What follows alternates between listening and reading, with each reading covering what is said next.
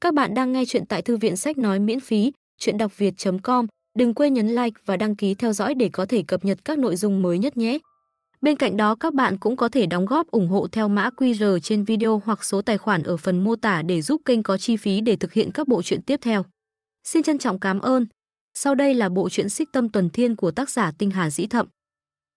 Tập 255 Chương 2541 Ghi chép về biến cố Thánh Thú Sơn Khương Vọng cúi đầu thi lễ, đa tạ. Tiêu diệt Ma Long, có một phần công lao thuộc về tịnh thủy bộ. Lâm tiện bước lên, thu hộp sách lại. Búa rìu đeo bên hông hắn không sắc bén, mà nặng nề vụng về. Hắn dường như cũng trở nên chậm chạm như thanh búa rìu của mình, nhưng lại toát ra một cảm giác sức mạnh kiên định hơn. Lâm Xuyên tiên sinh khách sáo rồi. Tịnh Thủy Thừa Yên đứng đó, cân nhắc giọng điệu tiễn khách, ta biết tiên sinh nhiều việc bận rộn, nên không dám. À đúng rồi, Khương Vọng tự nói với mình, còn muốn hỏi tiên sinh một chuyện nữa. Tịnh Thủy Thừa Yên cố gắng dùng dáng đứng mệt mỏi để khách tự giác, xin cứ hỏi. Khương Vọng như không nhận ra, quý bộ có ghi chép gì về chi tiết biến cố Thánh Thú Sơn năm xưa không? Tịnh Thủy Thừa Yên quay đầu nhìn ghế, cuối cùng cũng ngồi xuống đối diện Khương Vọng, chắp tay lại, không ngờ Lâm Xuyên tiên sinh lại am hiểu lịch sử phù lục đến vậy. Biến cố Thánh Thú Sơn năm đó vốn là một vụ án treo, không có bất kỳ manh mối hữu dụng nào, tất nhiên cũng không có lời giải thích hợp lý. Năm đó đã vậy, hơn một ngàn năm sau, còn lưu lại được ghi chép gì chứ? Chẳng qua là thánh thú sơn sụp đổ, nhân quả không rõ. Khương Vọng gật gật đầu, giọng điệu tự nhiên, các vu trúc của quý bộ năm đó không phải đã đến thánh thú sơn thám thính sao. Nghe nói sau đó, có liên quan đến việc đi thánh thú sơn. Tịnh Thủy Thừa Yên nói, Dược Nguyên Đại Nhân là sau khi bại trận tại Thánh Thú Sơn 7 năm, trong quá trình thăng hoa các đồ đằng thần linh thì thất bại mà qua đời. Chuyện này có ghi trong sách, ta nghĩ cái chết của lão nhân ra không liên quan gì đến Thánh Thú Sơn cả. Khương Vọng lại nói, biến cố Thánh Thú Sơn năm đó, không có bất kỳ manh mối nào còn sót lại. Bốn vị đồ đằng thần linh đầu tiên đến thám thính, toàn bộ đều chết trong vòng 10 năm. Cũng chính vì thế dẫn đến sự thay đổi cục diện của các bộ tộc họ trực thuộc. Trong đó, huyền phong bộ mạnh nhất bị chia năm xẻ bảy, hỗn thủ bộ, tiêu lôi bộ đều tổn thất nặng nề, một bại không ngóc dậy nổi. Chỉ có tịnh thủy bộ, sau ngàn năm, vẫn giữ được vị trí đệ nhất thủy bộ. Nghĩ đến hẳn là có điểm đặc biệt. Vị khách từ trời xanh này hiểu biết về lịch sử phù lục, rõ ràng vượt xa tưởng tượng của tịnh thủy thừa yên. Hắn ngồi đó nghiêm trang, thận trọng nói, nói đặc biệt thì cũng chẳng có gì đặc biệt, tịnh thủy bộ có thể truyền thừa đến nay, mọi người vẫn có thể sống qua ngày khá tốt. Một là nhờ thiên quyển, nhân tài không dứt, hai là nhờ tâm hợp lực đồng, tịnh thủy bộ vạn chúng một lòng, nỗ lực phấn đấu. Như vậy mới may mắn không nhục tổ tiên. Nói đến tổ tiên, Khương Vọng thong thả, ta nhớ trong truyền thuyết, tổ tiên của tịnh thủy bộ là người đầu tiên thanh tẩy hồ nhai cam, chiết xuất nước uống được, biến nhai khổ thành nhai cam. Lâm Xuyên tiên sinh đến tịnh thủy bộ, tuyệt đối không phải hứng lên tạm thời, mà là đã chuẩn bị từ sớm. Tịnh Thủy Thừa Yên trong lòng có nhận thức như vậy, giọng điệu càng thêm khiêm tốn, truyền thuyết đều như thế, 36 tộc thủy bộ, đại bộ phận tổ tiên đều liên quan đến hồ nhai cam. Nhưng Khương Vọng không như y nghĩ mà truy hỏi đến cùng, mà là chuyển hướng câu chuyện, trong biến cố đó, trước là hồ nhai cam bị hủy hoại, sau mới đến Thánh Thú Sơn sụp đổ.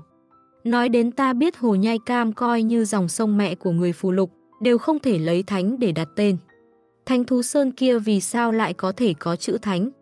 Tịnh Thủy Thừa Yên thở phào nhẹ nhõm, giải thích trong truyền thuyết cổ xưa, những con người đầu tiên cư ngụ trên thánh thú sơn, lấy cây làm nhà, lá cỏ làm quần áo. Uống nước nhai cam, ăn cá hồ lớn, hái quả núi thánh, săn thú rừng già. Như vậy sinh sôi nảy nở, dân số ngày càng tăng, sau đó mới rời đến các nơi khác. Chúng ta người phù lục đều là những người từ trên núi đi xuống, cho nên ngọn núi đó có tên thánh. Khương Vọng lắng nghe xong, liền đứng dậy nói, đa tạ Vu Trúc giải đáp, hôm nay đã làm phiền nhiều.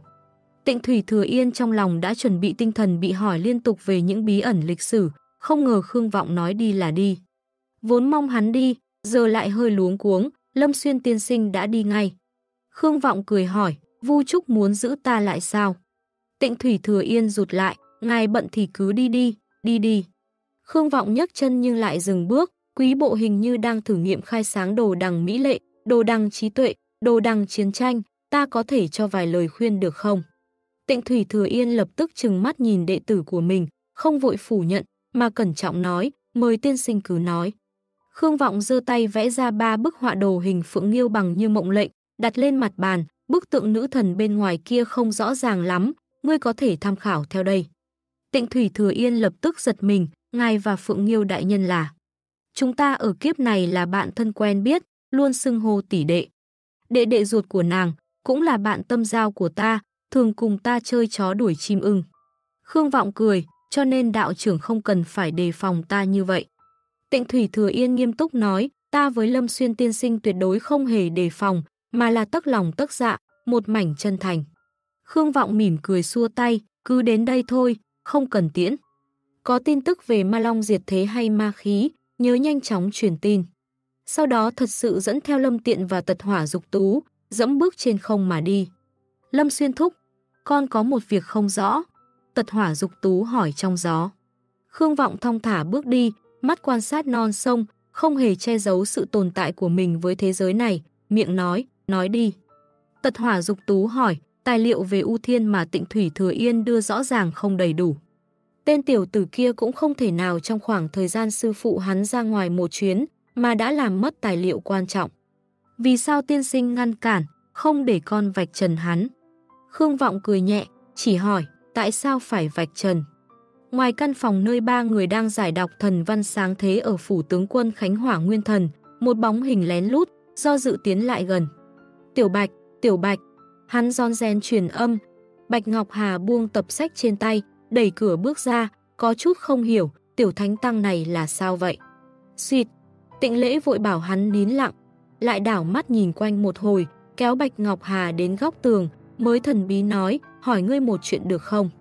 Bạch Ngọc Hà chỉnh lại vạt áo, mời hỏi, chính là chuyện truyền bá tín ngưỡng Tam Bảo Sơn ấy, phải truyền như thế nào? Tịnh lễ mặt đầy đau khổ, ta nói thế nào bọn họ cũng không chịu nghe. Từ khi Bạch Ngọc Hà xúi dục hắn mở dịch vụ khai quang cho các quán rượu và thực sự kiếm được dùng rỉnh tiền bạc, Bạch Ngọc Hà đã trở thành từ đồng nghĩa với trí tuệ ở chỗ hắn. Luận về thông minh, chỉ thua sư đệ tịnh thâm một bậc. Nhiệm vụ sư đệ giao, hắn hùng hồn nhận lời, tất nhiên không tiện hỏi sư đệ với bộ mặt ảm đạm, nên đành tìm Bạch trưởng quỹ. Ngươi nói thế nào? Bạch Ngọc Hà hỏi. Ta cứ nói thẳng ra. Tịnh lễ đáp, Tam Bảo Sơn là chính thống Phật môn, do Thế Tôn trực truyền.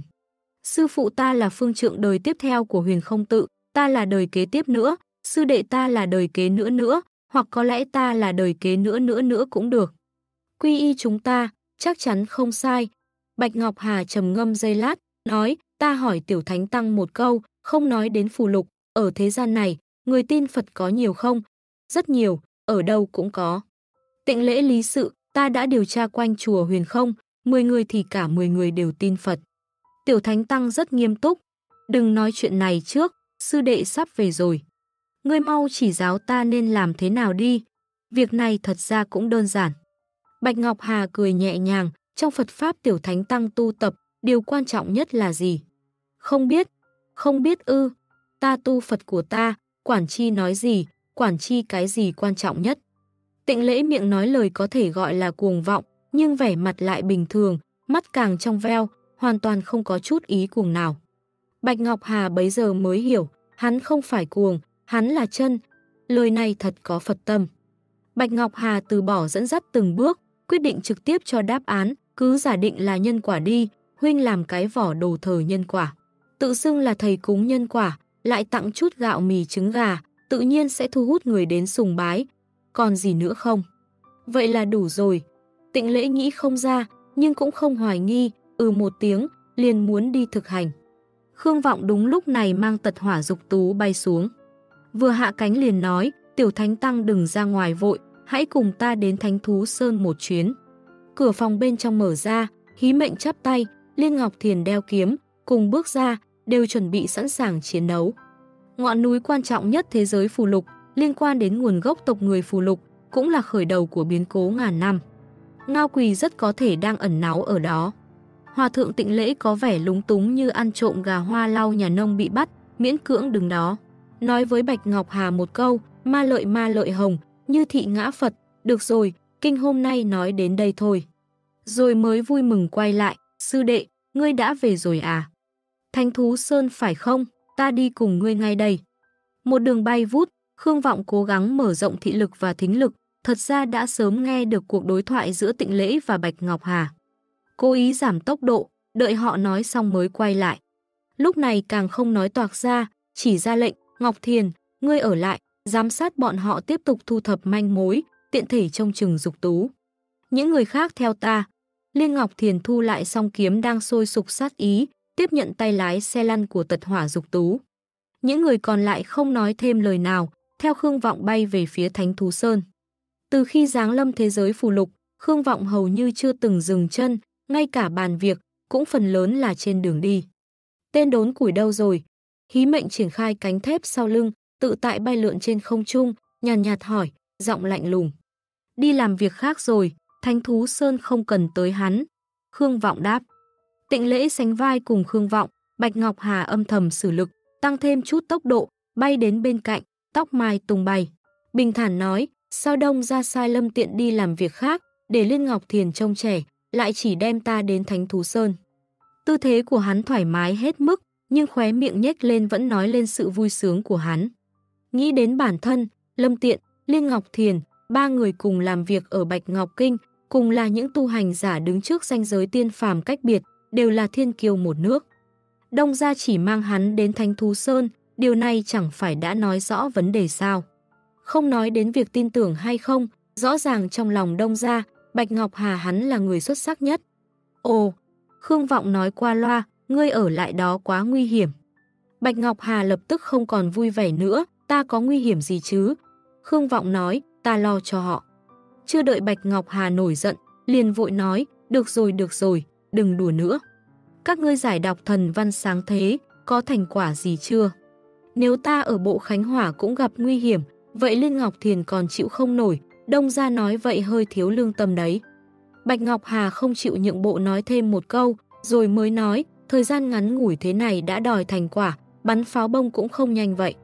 Nhưng rồi lại chuyển đề tài, chúng ta thật sự giải đọc ra được một chữ. Chữ gì? Khương Vọng rất hứng thú. Chương 2542, tạo ra đồ đằng mới. Còn nhớ tấm bản đất sét có khắc thế gian hữu duy, duy ư kia không? Tất nhiên rồi. Chữ tiếp theo là kỳ, không có ý nghĩa lớn lao gì. Khương Vọng, ông chủ của tử lâu Bạch Ngọc Kinh và một người tiên phong trong giải mã sáng thế thần văn, nhận xét. Thông thường, sau chữ kỳ mới là trọng điểm. Ý nghĩa rất lớn đấy. Hí mệnh lạnh lùng nói, hắn đang bay rất xa chợt lại bay đến gần, ngươi có lẽ không hiểu rõ lắm về môn học này. Mỗi chữ cổ được giải mã ra đều như quét sạch một mảnh trong mê cung lịch sử. Nó giúp chúng ta loại bỏ hàng tấn sai lầm, thúc đẩy rất lớn tiến trình giải mã. Vậy sao? Khương Vọng miễn cưỡng chấp nhận, rồi chia sẻ những gì mình thấy ở tịnh thủy bộ. Tịnh thủy thừa yên là một vu trúc, việc hắn giấu giếm một chút bí mật truyền thừa của bộ tộc cũng là điều có thể thông cảm. Dù sao đó cũng là căn bản của họ, không thể hoàn toàn hạ phòng bị với chúng ta. Bạch Ngọc Hà phân tích một cách lạnh lùng. Có một chuyện rất thú vị, không biết các ngươi có phát hiện không? Khương Vọng nói, tại phù lục đến nay, chưa hề xuất hiện một đồ đằng thánh linh chân chính nào, lật hết sử sách cũng không thấy ghi chép. Truyền thuyết thì có, nhưng không đáng tin. Theo tài liệu mà chúng ta nắm được về các tộc phù lục, chỉ có Khánh Hỏa Trúc Thư là rõ ràng tiệm cận cảnh giới đó, nhưng cũng chưa chắc đã đột phá. Hí mệnh thẳng thắn, hoặc là thế giới này có hạn chế, hoặc là phương pháp tu luyện đồ đằng có hạn chế. Các ngươi đều đã xem qua phương pháp tu luyện đồ đằng rồi, chắc cũng đã tu tập, có tâm đắc gì không? Khương Vọng hỏi. Hí mệnh đáp, trừ phi tu luyện tới cảnh giới đồ đằng chi linh, luyện hóa thân thể, triệu hồi linh hồn từ bản nguyên, nếu không sao có thể bàn luận thật sự về cảnh giới đồ đằng thánh linh. Chúng ta đều không thể làm được, chẳng ai dùng nó làm pháp môn căn bản, chỉ là dùng để làm củi lửa mà thôi. Bạch Ngọc Hà cũng nói, đến bước đó thì từ bỏ thân xác. Đó chính là lý do tuổi thọ của đồ đằng chi linh vượt quá thần lâm. Chưa nói nó có hạn chế hay không, chỉ xét từ những đồ điển đó, quả thực là một môn học uyên thâm. Chỉ bằng sức chúng ta mà muốn thấu hiểu ý nghĩa chân thực của nó, không phải chuyện 3 năm 2 năm là xong được. Mà những cường giả phù lục này lại không thể thực sự bày tỏ tâm can. Tịnh lễ vốn im lặng nãy giờ, đột nhiên ổ một tiếng, thành rồi. Chỉ thấy bàn tay phải của hắn đưa ra phía trước, một hình tròn đang từ từ hiện ra trên lòng bàn tay, trong vòng tròn đó là một vạn tự nghiêng, được tạo thành từ hai đường màu đen trắng giao nhau. Có một vẻ đẹp giản dị nhưng thần bí. Ba người nhìn thấy cảnh này đều kinh ngạc ở các mức độ khác nhau. Bởi vì đây không phải là một hình đồ đơn giản, mà là một đồ đằng. Một đồ đằng chân chính có sức mạnh, hòa nhập vào hệ thống siêu phàm của thế giới này và có thể tu luyện. Hơn nữa, nó khác với bất kỳ đồ đằng nào mà họ từng thấy, từng được các bộ tộc vương quyền thu thập. Đây là một đồ đằng hoàn toàn mới. Điều này, Bạch Ngọc Hà chưa làm được, Hí Mệnh chưa làm được, Khương Vọng cũng chưa làm được. Bạch Ngọc Hà nhớ lại lời chỉ điểm của mình, giọng nói hơi không ổn, đây là nhân quả đồ đằng sao? Tịnh lễ cũng không rõ lắm, chắc là vậy. Hắn đưa ngón tay chọc vào đồ đằng trước mặt, như thể chạm vào một vật thể hữu hình, đẩy nó lùi lại vài tấc. Hắn nhe răng cười, như thể đã tìm thấy đồ chơi mình thích, hẳn là vậy rồi. Bạch Ngọc Hà vẫn đang bối rối, ta không phải bảo ngươi làm cái vỏ nhân quả đồ đằng sao. Tiểu Thánh Tăng có biết vỏ là gì không? Vỏ là cái bề ngoài, để lừa người ta, trông thì giống thật lắm, nhưng chẳng có tác dụng gì hết, rất dễ làm ra, Tiểu Thánh Tăng hiểu chứ. Tịnh lễ chớp mắt, làm cái thật không được sao. Cũng không khó mà. À, cũng đúng. Bạch Ngọc Hà im lặng. Hí mệnh đã điểm đồ đằng phong lên cánh tay trái từ lâu, lúc này im lặng vận chuyển đồ đằng chi lực, một lần nữa xem xét bản chất của nó. Có lẽ cũng hơi tự nghi ngờ. Khương Vọng mỉm cười nhìn tịnh lễ, xem ra sự khám phá của ngươi về đồ đằng đã vượt qua tất cả chúng ta. Vậy xin hỏi vị tiểu thánh tăng huyền không tự này, trong mắt ngươi, cảnh giới đồ đằng thánh linh trong phương pháp tu luyện đồ đằng có thể đạt tới không?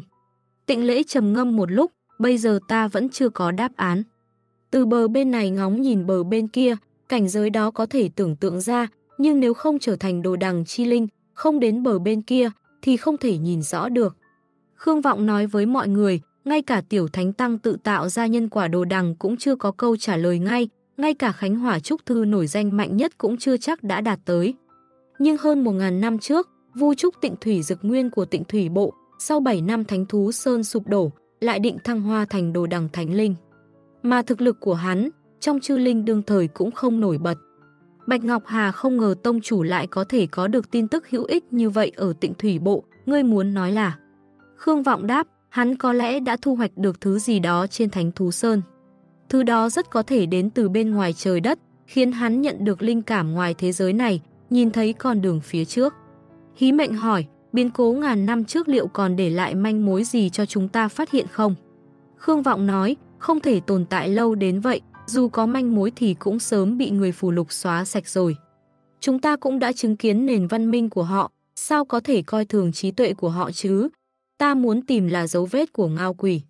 Hắn bây giờ không cách nào chủ đạo làn sóng tín ngưỡng đang tràn ngập phù lục, bị buộc phải đối địch với các bộ tộc phù lục, lựa chọn của hắn không còn nhiều. Nơi đây có lẽ chính là nơi năm xưa hắn mang đến sự thay đổi cho phù lục, hắn chắc chắn sẽ quay lại đây tìm kiếm sự thay đổi, nắm bắt cơ hội chiến thắng. Thanh Thú Sơn nằm ở khu vực trung tâm của toàn bộ thế giới phù lục, hai bộ tộc gần núi này nhất là hỗn thổ bộ và thiên phong bộ. Trước kia là thổ bộ thứ 17, sau này tách ra từ huyền phong bộ thành một trong tám bộ. Nói là gần nhất, nhưng cũng cách thánh Thú Sơn cả ngàn dặm. Tịnh thủy bộ và tiêu lôi bộ còn xa hơn một chút. Trên đường bay nhanh, vừa thảo luận, không thấy đường xa mệt mỏi. Khi bốn người dừng bước, xuất hiện trước mặt họ, thay vì gọi là một ngọn núi, thì giống như một tòa cao đài hơn. Nó vươn cao trên mặt đất bao la, nhưng lại bị chặn ngang ở giữa con đường hùng vĩ hiểm trở. Trên núi vẫn xanh tươi um tùm, có thú rừng và tiếng chim hót. Rõ ràng tự tạo thành một thế giới, một thế giới không trải qua sự thay đổi của thời đại.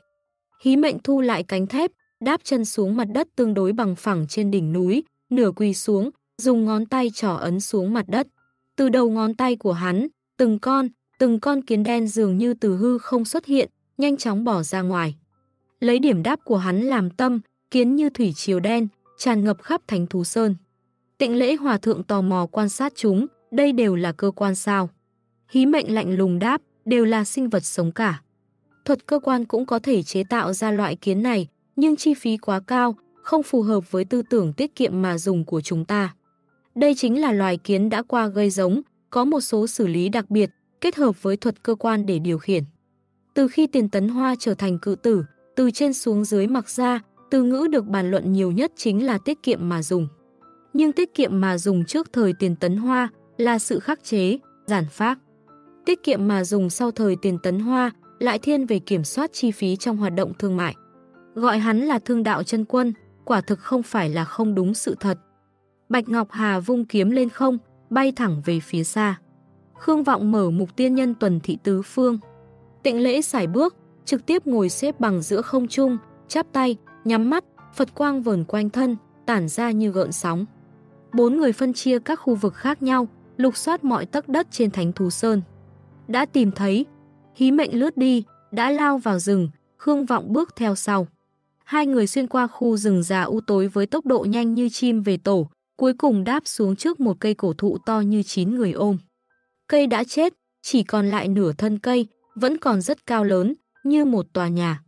Bên trong từ lâu đã bị sâu đục khoét rỗng. Vô số kiến đen đang bò lúc nhúc trên thân cây. Hí mệnh dùng ngón trỏ chỉ vào thân cây, đàn kiến đen nhanh chóng rút lui, gần như tập trung thành một hàng, thẳng tắp lao vào ngón trỏ của hắn, đó dường như kết nối một không gian khác. Có người ở đây đã nếm trải một sức mạnh không thuộc về thế gian này. Hí mệnh nói, vẫn còn rất mới, chỉ trong vòng 3 ngày gần đây. Khương Vọng tùy tay bẻ một miếng gỗ mục, dùng tam muội chân hỏa từ từ đốt cháy, chỉ có thể là ngao quỷ thôi. Hắn đã làm gì ở đây? Hí mệnh đáp, cướp đoạt sinh cơ của cây cổ thụ này. Hắn cố tình che giấu dấu vết, ngụy trang nó thành bộ dạng tự nhiên chết héo, nhưng ảnh hưởng của cây cổ thụ này lên đất đai. Sự xâm lấn không gian sinh tồn của những cây khác xung quanh, đó là điều hắn không thể thay đổi. Bản thân Khương Vọng cũng đã thông qua tam muội chân hỏa mà có được câu trả lời tương tự như hí mệnh. Câu mày nói, ngao quỷ có bản lĩnh cướp đoạt sinh cơ của cây cối làm của riêng mình. Nhưng chút sinh cơ này đối với hắn mà nói quá ư nhỏ bé, đủ để hắn làm gì. Hí mệnh đáp, nếu ngao quỷ có thể dựa vào đây mà phục hồi, chúng ta nhìn thấy lẽ ra phải là một quả núi chọc. Điều này cho thấy tuyệt kỹ này có hạn chế, mà hắn rất cần tận dụng chút sinh cơ này để làm điều gì đó ở đây. Khương Vọng lại hỏi, có thể thông qua những sức mạnh này mà truy tìm được hắn không? Ta đang làm điều đó. Giả sử ta là ngao quỳ, nghìn năm trước vội vã đi qua nơi này, giấu bảo vật thiên Phật. Nghìn năm sau trở lại, việc đầu tiên chắc chắn vẫn là tìm bảo. Hơn nữa ta đã liên hệ được khất hoạt như thị bát, phong tỏa thế giới này. Nhưng vì một lý do nào đó, ta không thể triệt để giải phóng sức mạnh của nó. Vậy điều then chốt nhất hiện tại là giải phong bảo vật này, một sống trăm sống. Khương Vọng suy ngẫm, sinh cơ của cây này có thể có tác dụng với khất hoạt như thị bát không? Hí mệnh đem sức mạnh mà đám kiến đen nuốt vào, rót vào bốn con chim máy, sau đó thả chúng bay về bốn phương. Đồng thời phân tích, xét về sự tương phản sức mạnh, cho dù có tác dụng, cũng chỉ làm nhiều nhất một chút dẫn tử. Khương Vọng trầm ngâm, cây này có điểm đặc biệt gì? Cây có tuổi thọ lâu nhất trong khu rừng này. Hí mệnh vừa nói, vừa nắm bắt được điểm then chốt, không, điều đặc biệt nằm ở chỗ, nó là cây có tuổi thọ lâu nhất còn tồn tại trên Thánh Thú Sơn. Điểm đặc biệt nằm ở Thánh Thú Sơn. Khương Vọng cũng sáng mắt lên, nó có sức mạnh từ nguồn gốc tộc phù lục. Hí mệnh tiếp lời, khất hoạt như thị bát có lẽ bị sức mạnh thế giới của phù lục phong ấn, khiến ngao quỷ không thể tận dụng hết sức mạnh. Bất kể là do tộc phù lục cố ý dẫn dắt hay do bản năng thế giới đẩy lùi cũng được, tóm lại tạo nên tình huống này. Vì vậy ngao quỷ mới cần lấy sức mạnh từ nguồn gốc tộc phù lục làm dẫn tử. Làm thế nào để trong tình huống sức mạnh bản thân không đủ, giải quyết việc bị sức mạnh thế giới phong ấn, với truyền thừa lâu đời của cự thành, chắc hẳn có rất nhiều suy nghĩ.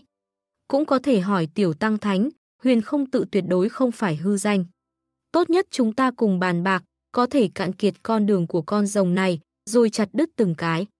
Đang nói, thì tiếng của tịnh lễ vang lên, sư đệ, bên này. Kiến đen vẫn đang không biết mệt mỏi bò qua từng tấc đất. Khương Vọng và Hí Mệnh xuyên qua rừng núi yên tĩnh, rất nhanh tìm được chỗ tịnh lễ đang ở. Hắn ở trong một hang đá u sâu. Các bạn đang nghe chuyện xích tâm tuần thiên của tác giả Tinh Hà Dĩ Thậm tại Thư viện Sách Nói miễn phí, chuyện đọc việt.com Chương 2543, Tế lễ Bên ngoài hang này có dây leo cây cổ, đá xanh rêu phong, ẩn nấp rất kỹ, không biết làm sao mà được ngài tìm thấy. Giây phút này cây rời đá mở, tựa như cổ mộ bị khai quật, ánh trời lan tỏa vào. Hơi thở cũ mục vẫn đang tràn ra ngoài, không biết đá phong bao nhiêu năm, tái hiện nhân gian. Đi vào trong mới phát hiện, hang đá này vừa cao vừa rộng, bốn thông tám đạt, thoạt nhìn khó thấy hết dáng vẻ. Tiếng gió vang vọng từ xa trong hang động, mơ hồ nghe tiếng quạ kêu, mang một sự âm u khó tả. Vị tăng trẻ tuổi thanh tú sạch sẽ, đang chắp tay đứng trước vách đá có tuổi đời lâu dài. Sau gáy một vòng Phật quang, khiến đầu chọc sáng bóng của hắn bừng sáng rực rỡ, dường như cũng soi sáng cả hang núi tối tăm này.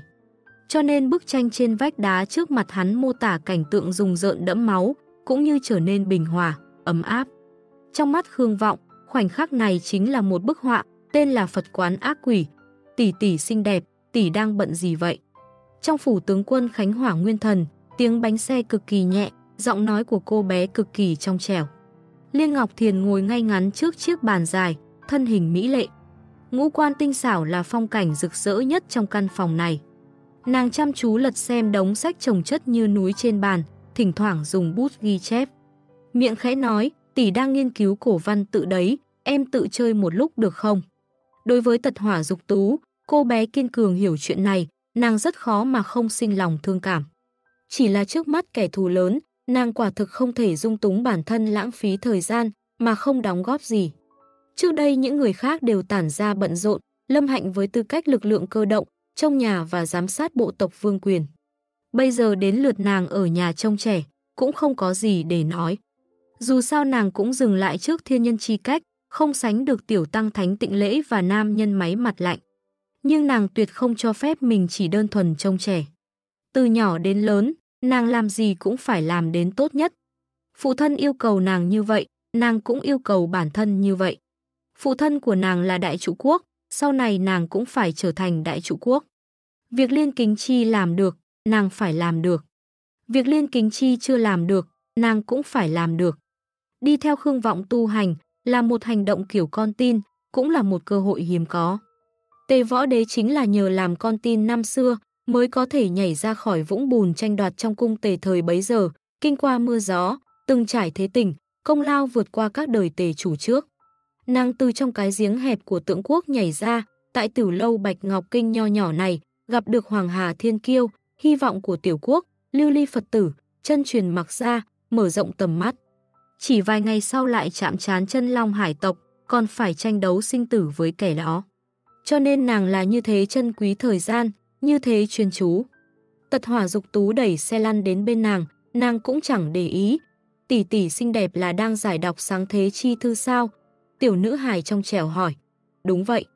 Liên Ngọc Thiền lúc nhìn chữ, lúc nhìn tranh, nghiêm túc đối chiếu lời ca của Trúc Ca, vũ đạo của Tế Vũ, thể hội cách vận dụng sáng thế thần văn của các vị phù lăng vu trúc thời cổ.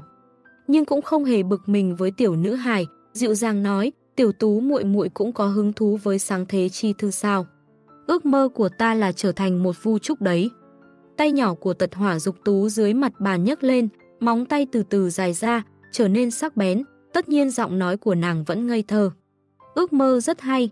Liên Ngọc Thiền bút không ngừng, miệng đáp, ta đoán đông ra hẳn là không phiền.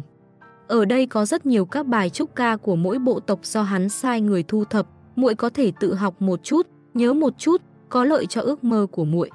Nếu Lâm Xuyên Thúc phiền lòng thì sao? Tật hỏa dục tú cười hỏi, hai tay nàng dưới bàn một thuận một nghịch, tựa như đang tiến hành thứ nghi thức nào đó. Liên Ngọc Thiền không hiểu lắm vì sao lúc đầu đông ra lại lấy tên Trương Lâm Xuyên tại Phú Lăng, liên hệ đến việc sau này một phong huyết tự khích văn chính thức lật đổ vô sinh giáo. Nàng chỉ có thể quy kết vào một loại cừu hận khắc cốt minh tâm, khiến đông ra thời thời canh cánh trong lòng. Lúc này nàng dịu dàng cười nói, không sao cả, chỉ cần không làm tổn thương bạn bè của hắn, hắn kỳ thực là người rất độ lượng, nhiều nhất là trừ tiền công của ta thôi. Cả đội săn rồng của các ngươi đều do hắn phát tiền công ư. Thách đấu diệt thế ma long, là ai giao nhiệm vụ cho các ngươi vậy? Hai tay nhỏ của tật hỏa dục tú dưới bàn khôi phục như cũ, trở nên trắng nõn mềm mại, trong giọng nói có chút tò mò. Liên Ngọc Thiền ý thức được mình mải mê giải đọc cổ văn tự, suýt nữa lỡ miệng, may mà tật hỏa dục tú tuổi còn rất nhỏ hẳn dễ dỗ dành, bèn đáp, hắn là đông gia mà. Trách nhiệm do hắn gánh, lợi ích cũng do hắn phân phối. Nàng không sâu xa bàn về diệt thế ma long hay chuyện của đội săn rồng, rất dễ và víu mâu thuẫn, lộ ra kẽ hở. Chuyển hướng, giọng muội rất hay, chắc hát chúc ca sẽ rất tốt. Quả nhiên tật hỏa dục tú rất dễ dàng bị chuyển rời chú ý, ngây thơ cười nói, mẫu thân muội cũng nói như vậy. Liên Ngọc Thiền kỳ thực tính tình cùng dung mạo không hợp lắm, không phải người nhu hòa, nhưng có lẽ do phải mang theo đứa bé. Hôm nay quả thật kiên nhẫn dư thừa, vậy thì hãy học cho tốt, đợi đông ra trở về, hát một bài chúc ca làm hắn giật mình nhé. Tốt ạ.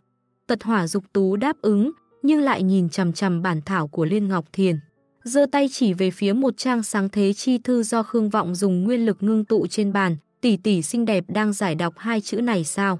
À, đúng. Liên Ngọc Thiền thuận miệng đáp, chữ trước đã giải đọc ra là chữ kỳ, còn thiếu một chữ nữa là trang sách này sẽ hoàn chỉnh. Tật hỏa dục tú nghiêm túc nói, chữ này nên là Minh. Liên Ngọc Thiền sững sờ, nàng không ngờ cô bé chưa đến 9 tuổi mơ ước làm vu trúc này lại có thể giải đọc được sáng thế thần văn. Phải biết vu trúc chính thức của vương quyền bộ tộc hiện giờ lại không giải đọc được một chữ nào. Minh, Minh nào cơ? Nàng hỏi. Tật hỏa dục tú giật lấy bút trên tay Liên Ngọc Thiền, trên giấy viết một chữ Minh ngay ngắn. Là cái này. Liên Ngọc Thiền có chút không tin cô bé này có thể đưa ra đáp án đúng nhưng thật sự đem chữ này khảm vào cả trang sáng thế chi thư, sẽ phát hiện từ hình dạng, cảm giác chữ nhìn qua, đều vô cùng ăn khớp. Những nét vặn vẹo kia cũng có thể tìm ra manh mối từ trong tế vũ. Cũng chính là nói, giải đáp này là đúng. Thế hữu duy, duy vu kỳ mình. Liên Ngọc Thiền mày trao chặt, phải giải thích như thế nào đây? Nàng theo bản năng nhìn về phía tật hỏa dục tú, thế giới này tồn tại dựa vào thứ gì đó mà người ta khắc ghi trong lòng tồn tại dựa vào đoạn minh văn nào đó. Nhưng nàng chỉ nhìn thấy mặt nạ vu trúc khoa trương kia, không thấy được ánh mắt của tật hỏa dục tú dưới mặt nạ. Hi hi, cô bé cười nói, cái này thì ta cũng không biết nha. Liên Ngọc Thiền tạm thời gác những khúc mắc ra sau đầu, tiểu tú muội muội, ở đây còn có mấy trang sáng thế chi thư, muội có thể đọc ra được không?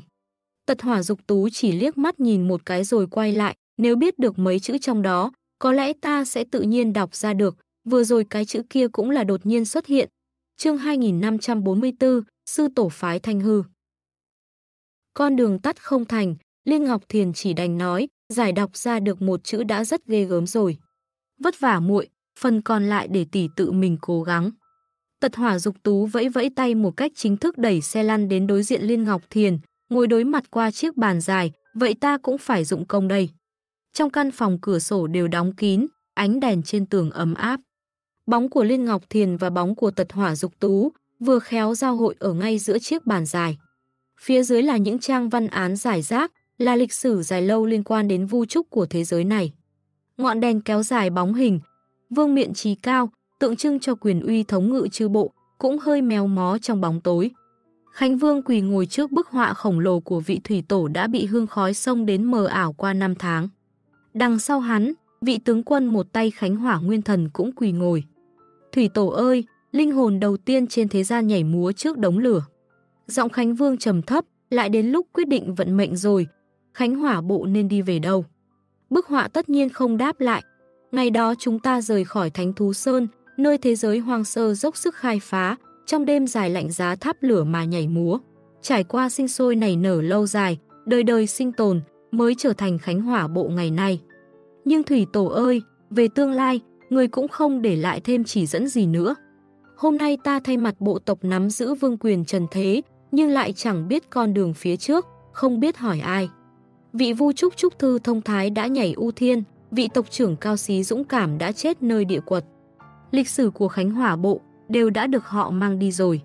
Hắn nghiêm túc bái lạnh. nếu thủy tổ linh thiêng, xin hãy báo mộng cho ta. Rất lâu sau mới ngẩng người dậy. Nguyên thần.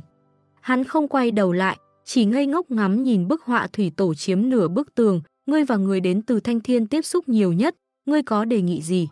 Hay là, ngươi cảm thấy Trương Lâm Xuyên có đáng tin không?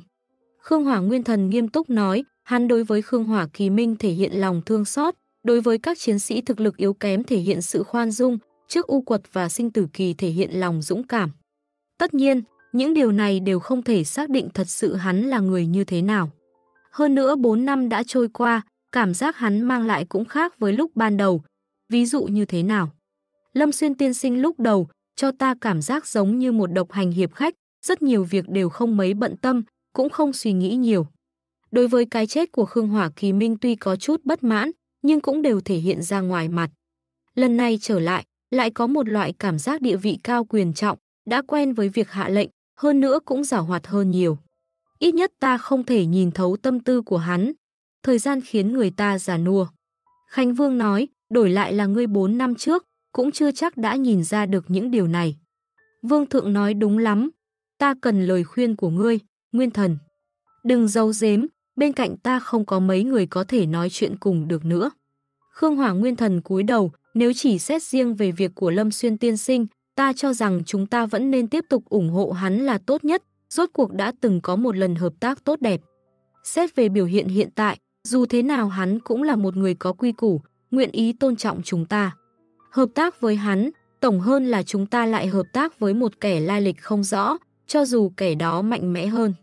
Đạo lý là vậy, Khánh Vương nói, nhưng hắn đến từ trung tâm của chư thiên vạn giới, đến từ hiện thế.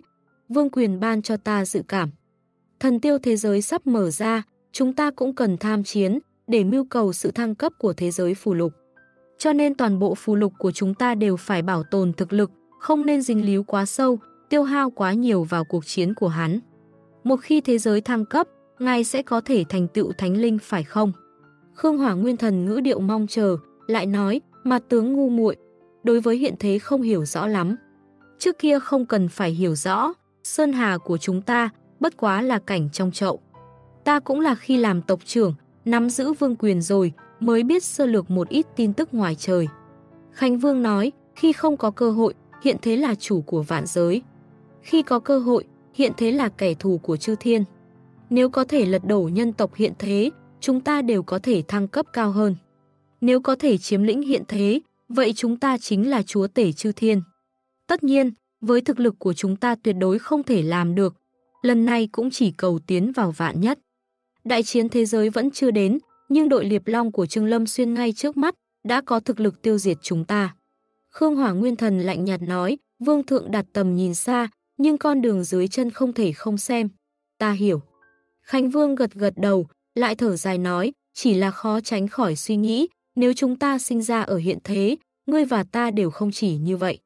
Những kẻ thiên phú tuyệt đỉnh như Trúc Thư Đại Nhân cũng nên có thể rạng rỡ muôn phương. Những tộc trưởng bộ tộc có ánh mắt nông cạn kia, âm thầm thường nói vương thượng chỉ là nhặt được một phần khế ước vương quyền, ai biết tài trí của vương thượng. Ai biết vương thượng đối với vạn dân thế gian này, một lòng thành kính. Khương Hỏa Nguyên Thần quỳ sát đất nói, ta nguyện vì đại nghiệp của vương thượng, dốc hết gan óc, nhuộm đỏ mặt đất, dẫu đầu rơi máu chảy cũng không từ. Thân hình quỳ mọp của hắn, ẩn náu dưới bóng của Khánh Vương. Mà dung mạo của Khánh Vương bị ánh đèn bao phủ, cũng như bức chân dung của Thủy Tổ, đã trở nên mơ hồ. Sông núi cũng chỉ là cảnh trong bồn, thiện hạ này chỉ là dòng chữ trên sách vở. Ngươi biết câu nói này là của ai không?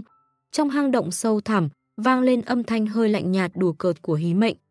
Thật ra sau khi quen thuộc, hắn không giống như lúc ban đầu, thích giả cười nữa. Hoặc có thể nói biết loại việc đó hoàn toàn vô nghĩa, Khương Vọng kỳ thực cũng không quan tâm hắn có lễ phép hay không. Lúc này tịnh lễ đang tụng kinh, tụng đến vô thanh vô tức. Khương Vọng và Hí Mệnh bèn mượn ánh sáng Phật quang kia, lặng lẽ ngắm nhìn bức tranh trên vách đá. Bóng của bọn họ in lên hai bên, vặn vẹo trong những nét vẽ méo mó, cũng tựa hồ trở thành một phần của sự vặn vẹo.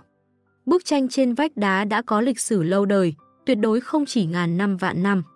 Nếu những gì được miêu tả trên đó là thật, vậy hẳn phải là thời kỳ sơ khai của nhân tộc phù lục, ít nhất cũng phải mấy vạn năm trước. Hoặc có lẽ là mấy chục vạn năm, thời gian không thể được họ chứng minh cụ thể vào lúc này. Điều duy nhất có thể xác định là bức tranh được vẽ bằng máu tươi chứa linh tính, cho nên mới có thể trải qua thời gian dài đăng đẳng như vậy. Trong dòng chảy của thời gian, linh tính cạn kiệt, nhưng bức tranh lại khắc sâu vào đá. Chính tảng đá trở thành ký ức từ xa xưa. Theo miêu tả trong bức tranh, vào thời xa xưa, nhân tộc phù lục không phải là trời sinh đã sống ở Thánh Thú Sơn, mà là bất đắc dĩ phải tụ cư ở Thánh Thú Sơn. Bởi vì bên ngoài Thánh Thú Sơn, thế giới hoang dã, tràn ngập yêu quỷ. Thánh Thú Sơn có thánh cấm tự nhiên, khiến yêu quỷ không thể chạm đến. Những người còn sót lại trong thế giới hoang dã bị tàn sát đùa giỡn tùy ý, đều chạy trốn đến Thánh Thú Sơn, yêu quỷ vây quanh múi mà cư trú. Có kẻ lấy đồng tộc tế tự yêu quỷ, đổi lấy sự bình yên ngắn ngủi. Có kẻ trở thành âm binh của yêu quỷ, lên núi cướp bóc, xuống núi nhận che chở. Có kẻ cam tâm làm gia súc cho yêu quỷ nuôi dưỡng, đời đời kiếp kiếp sinh con đẻ cái làm mồi cho chúng. Tất nhiên cũng hẳn là có kháng chiến, có không khuất phục, có trí tuệ và dũng khí từng bước bước ra khỏi thánh thú sơn. Nhưng bức tranh trước mắt này lại không miêu tả điều đó. Nó chỉ miêu tả một giai đoạn tàn khốc đẫm máu, nguyên thủy trần trụi. Miêu tả yêu quỷ thời cổ đại và trái tim con người tàn nhẫn hơn cả yêu quỷ dưới sự bao vây của chúng. Là ai nói ra câu đó, thật cuồng vọng sao? Khương Vọng từ bức tranh trên vách tỉnh táo lại, đáp lại đề tài của hí mệnh. Hí mệnh lạnh nhạt nói, hư uyên chi, sư tổ sáng lập thái hư phái, người kiến tạo thái hư huyễn cảnh. Một cường giả tuyệt đại nổi danh thiên hạ, nhưng lại ẩn thân không lộ diện. Nhưng thật ra so với việc kiến tạo ra thái hư huyễn cảnh, khả năng thuyết phục được các cường giả trong thiên hạ, thúc đẩy việc bố trí thái hư huyễn cảnh ở hiện thế của hắn, có lẽ còn đáng kinh ngạc hơn. Khương Mỗ Nhân trước kia vô tình tu thành thanh văn tiên thái, một nhân tố rất quan trọng, chính là ở trong thái hư huyễn cảnh, vô tình nghe được âm thanh chân thực của vị cường giả này. Nói là cuồng vọng, cũng không hẳn là quá cuồng vọng. Khương Vọng mặt không đổi sắc, hư chân quân là đứng ở một tầng cao hơn để nhìn nhận thế giới. Cao lâu kiến thành, tự nhiên núi như hạt cải, người tự kiến hồi. Ngang xem thành lĩnh, nghiêng xem thành phong, xa gần cao thấp mỗi loại một khác. Cùng một người, trong mắt những người khác nhau cũng không hoàn toàn giống nhau. Lớn thì như bỉ chi anh hùng, ngã chi cừu khấu, nhỏ thì như sư đệ tốt trong mắt tịnh lễ và tiền vũ an hầu trong mắt bác vọng hầu. Những điều xảy ra sau khi vào thế giới phù lục đã khiến hí mệnh nhìn thấy phong thái của một danh tướng. Còn hiện giờ, hắn rốt cuộc cũng nhận ra cái gọi là quốc công phiệt hầu. Ồ, phải thêm chữ tiền. Hình như chàng rất hiểu rõ về Thái Hư chân Quân. Hí mệnh hỏi với giọng điềm đạm. Các bạn đang nghe chuyện xích tâm tuần thiên của tác giả Tinh Hà Dĩ Thậm tại Thư viện Sách Nói miễn phí, chuyện đọc việt.com Chương 2545, Vạn Kiếp Hóa Nghiệp Kỳ thật không hiểu nhiều, chỉ là có nghe qua vài chuyện, cộng thêm từng tiếp xúc với thái hư huyễn cảnh mà thôi. Khương Vọng đáp, nhưng điều đó không cản trở ta kính trọng vị tiền bối ấy. Ngươi quả là người biết tôn trọng người khác. Hí mệnh nói. Khương Vọng cười nhẹ, xua tan không khí trầm mặc do tụng kinh trong thạch động, thành thực mà nói, đối với một bậc tuyệt đỉnh như vậy, trong lòng ta cũng có chút tò mò. Nếu hí huynh có hiểu biết gì, sao không nói cho ta nghe một chút? Hí mệnh cũng không quanh co, mở miệng kể lại một đoạn tiểu sử, Hư Uyên Chi, 3 tuổi học đạo, 9 tuổi thông kinh. 13 tuổi lạc vào kinh diên, biện kinh, biện pháp, biện đạo, đều thắng danh sĩ. Luận nho hai thiên, luận mặc ba thiên, hứng khởi mà viết, được các tông sư khen ngợi. Những người có mặt không ai không kinh ngạc thán phục, đây chẳng phải là bẩm sinh đã hiểu sao. 15 tuổi đã cảm thấy thân tâm đầy đủ, bèn nuốt đan khai mạch, chính thức tu hành. Năm 20, vừa cập quan, đã là đệ nhất các mạch trong đạo môn, cùng cảnh giới không ai địch nổi. Thần nhi minh trí tự minh, xuất ngoại vấn đạo thiên hạ. Gặp hiền tài át luận bàn, không tranh thắng bại. Được pháp át diễn giảng, không keo kiệt truyền thừa. Người đương thời công nhận là bậc nhất về hùng biện, đạo pháp và thần lâm. Mới giác ngộ đạo không phải là đạo của mình. Bèn trở về, cùng trưởng giáo luận đạo, đàm đạo ba ngày. Chi tiết trong đó không ai hay biết. Nhưng từ đó về sau, y rời khỏi Ngọc Kinh Sơn, du ngoạn khắp trốn. Lần tiếp theo xuất hiện trước mắt mọi người đã là một chân nhân đường thế. Năm ấy 39 tuổi, tự xưng là bất hoặc hĩ, bèn sáng lập Thái Hư Phái, tự xưng là giáo tổ. Năm ấy là năm đạo lịch 1350. Được Pháp át diễn, không keo kiệt truyền thừa, tấm lòng và cách nghĩ ấy cũng lan tỏa đến Thái Hư huyễn cảnh. Cuối cùng trở thành nền tảng cho một dòng chảy mạnh mẽ. Khương Vọng rất quen thuộc với Thái Hư huyễn cảnh, cũng từng tiếp xúc với người của Thái Hư phái.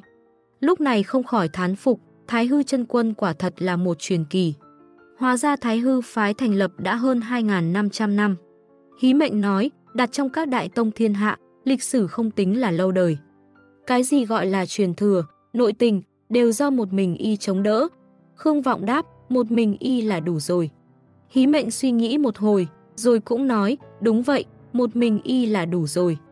Trong các đại tông thiên hạ thường lấy vạn năm để tính tuổi, Thái hư phái quả thật không thể gọi là có lịch sử lâu đời. Còn chưa thể so với huyết hà tông, càng không cần nói đến so với cự thành. Như người đời luận về Thái Hư phái, không ai coi nó là môn phái nhỏ. Chính là vì sự tồn tại của Thái Hư chân quân. Hắn hùng biện vô song, nhưng nhiều năm im lặng không lên tiếng. Hắn đạo pháp tuyệt thế, nhưng nhiều năm ẩn cư không ra. Hắn xuất thân từ đạo môn nhưng đã tự thành một phái, đăng lâm tuyệt đỉnh nhưng đã không dung thân nhân gian. Hắn không dung thân nhân gian, nhưng nhân gian khắp nơi đều là truyền thuyết về hắn. Giờ đây Thái Hư huyễn cảnh đã lan tỏa khắp thiên hạ, ảnh hưởng của Thái Hư phái trực tiếp đuổi kịp các đại hiển học. Đã có không ít tiếng nói truyền rằng, từ nay thiên hạ hiển học, ngoài đạo, nho, thích, binh pháp, mặc, phải thêm một chữ huyền nữa. Huyền giả, học thuyết của Thái Hư, thoát ly đạo Pháp nhưng khác với đạo Pháp. Lấy Thái huyền thiên của Hư Uyên Chi làm cương lĩnh tư tưởng chính, tạo thành một nhà chi ngôn. Theo sự mở rộng của Thái Hư huyễn cảnh, càng ngày càng được nhiều người công nhận. Nếu thật sự để chữ huyền này vươn lên thành một trong các hiển học thiên hạ, Hư Uyên Chi sẽ siêu thoát khỏi tuyệt đỉnh, trực tiếp đuổi kịp Nho Tổ, Pháp Tổ. Nói hắn sinh ra vào đạo lịch 1311, là thiên tài nhất của nhân tộc kể từ khi đạo lịch khởi nguyên, có lẽ còn cần thảo luận thêm. Nhưng thêm một chữ chi nhất thì hoàn toàn không nghi ngờ gì. Mà một khi huyền học thành hiển học, bỏ đi chi nhất cũng chẳng có gì đáng ngờ nữa. Khương Vọng tò mò hỏi, Hí huynh là người truyền đạo của Mạc Gia, sao lại hiểu rõ tiểu sử của Thái Hư Tổ Sư như vậy? Hí mệnh bình tĩnh đáp, bởi vì Hư Uyên Chi và bọn ta mặc Gia có nguồn gốc sâu xa.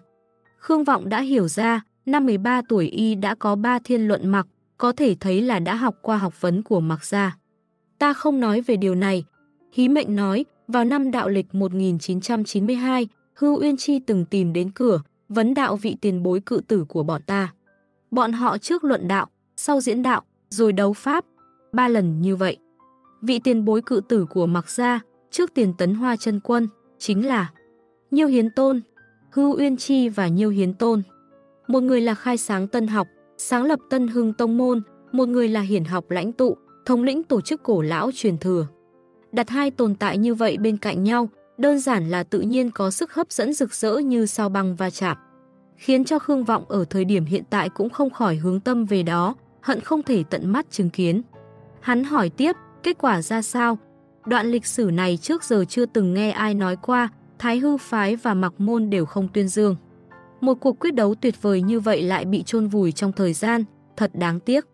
Hí mệnh đáp, luận đạo vô quả, diễn đạo vô quả, đấu pháp ở thiên ngoại, không cho người đời biết. Khương Vọng cảm khái, thật tiếc không thể tận mắt thấy được. Tuy không biết chi tiết cụ thể, nhưng rõ ràng cuộc luận đạo này đã tác động rất lớn đến vị tiền bối cự tử của bọn ta. Hí mệnh tiếp tục, vào năm thứ ba, tức năm đạo lịch 1995, vị tiền bối cự tử đã bắt đầu toàn diện thúc đẩy kế hoạch khải thần. Kế hoạch khải thần suýt nữa dẫn đến sự suy tàn toàn diện của Mạc Gia, khiến Nhiêu Hiến Tôn phải từ chức. Hoàn toàn có thể gọi là thất bại, nhưng cũng thực sự tạo ra ba vị chân nhân khôi lỗ như minh quỷ. Kế hoạch khải thần hóa ra đã bắt đầu từ năm đạo lịch 1995. Kế hoạch vĩ đại này đã trải qua sự thăng trầm của Mạc Môn, vượt qua hai đời cự tử, đến nay đã gần 2.000 năm. Nói xa quá rồi. Hí mệnh đạo, Thái Hư chân Quân từng nói Sơn Hà bồn trung cảnh, thiên hạ trưởng thượng văn, người ấy có tư cách nói như vậy. Người ấy cũng thật sự kiến tạo nên Thái Hư huyễn cảnh, làm cho một thế giới ảo, dung nạp vô số người hoạt động trong đó, thời thời khắc khắc bùng phát ức vạn lần sinh diệt.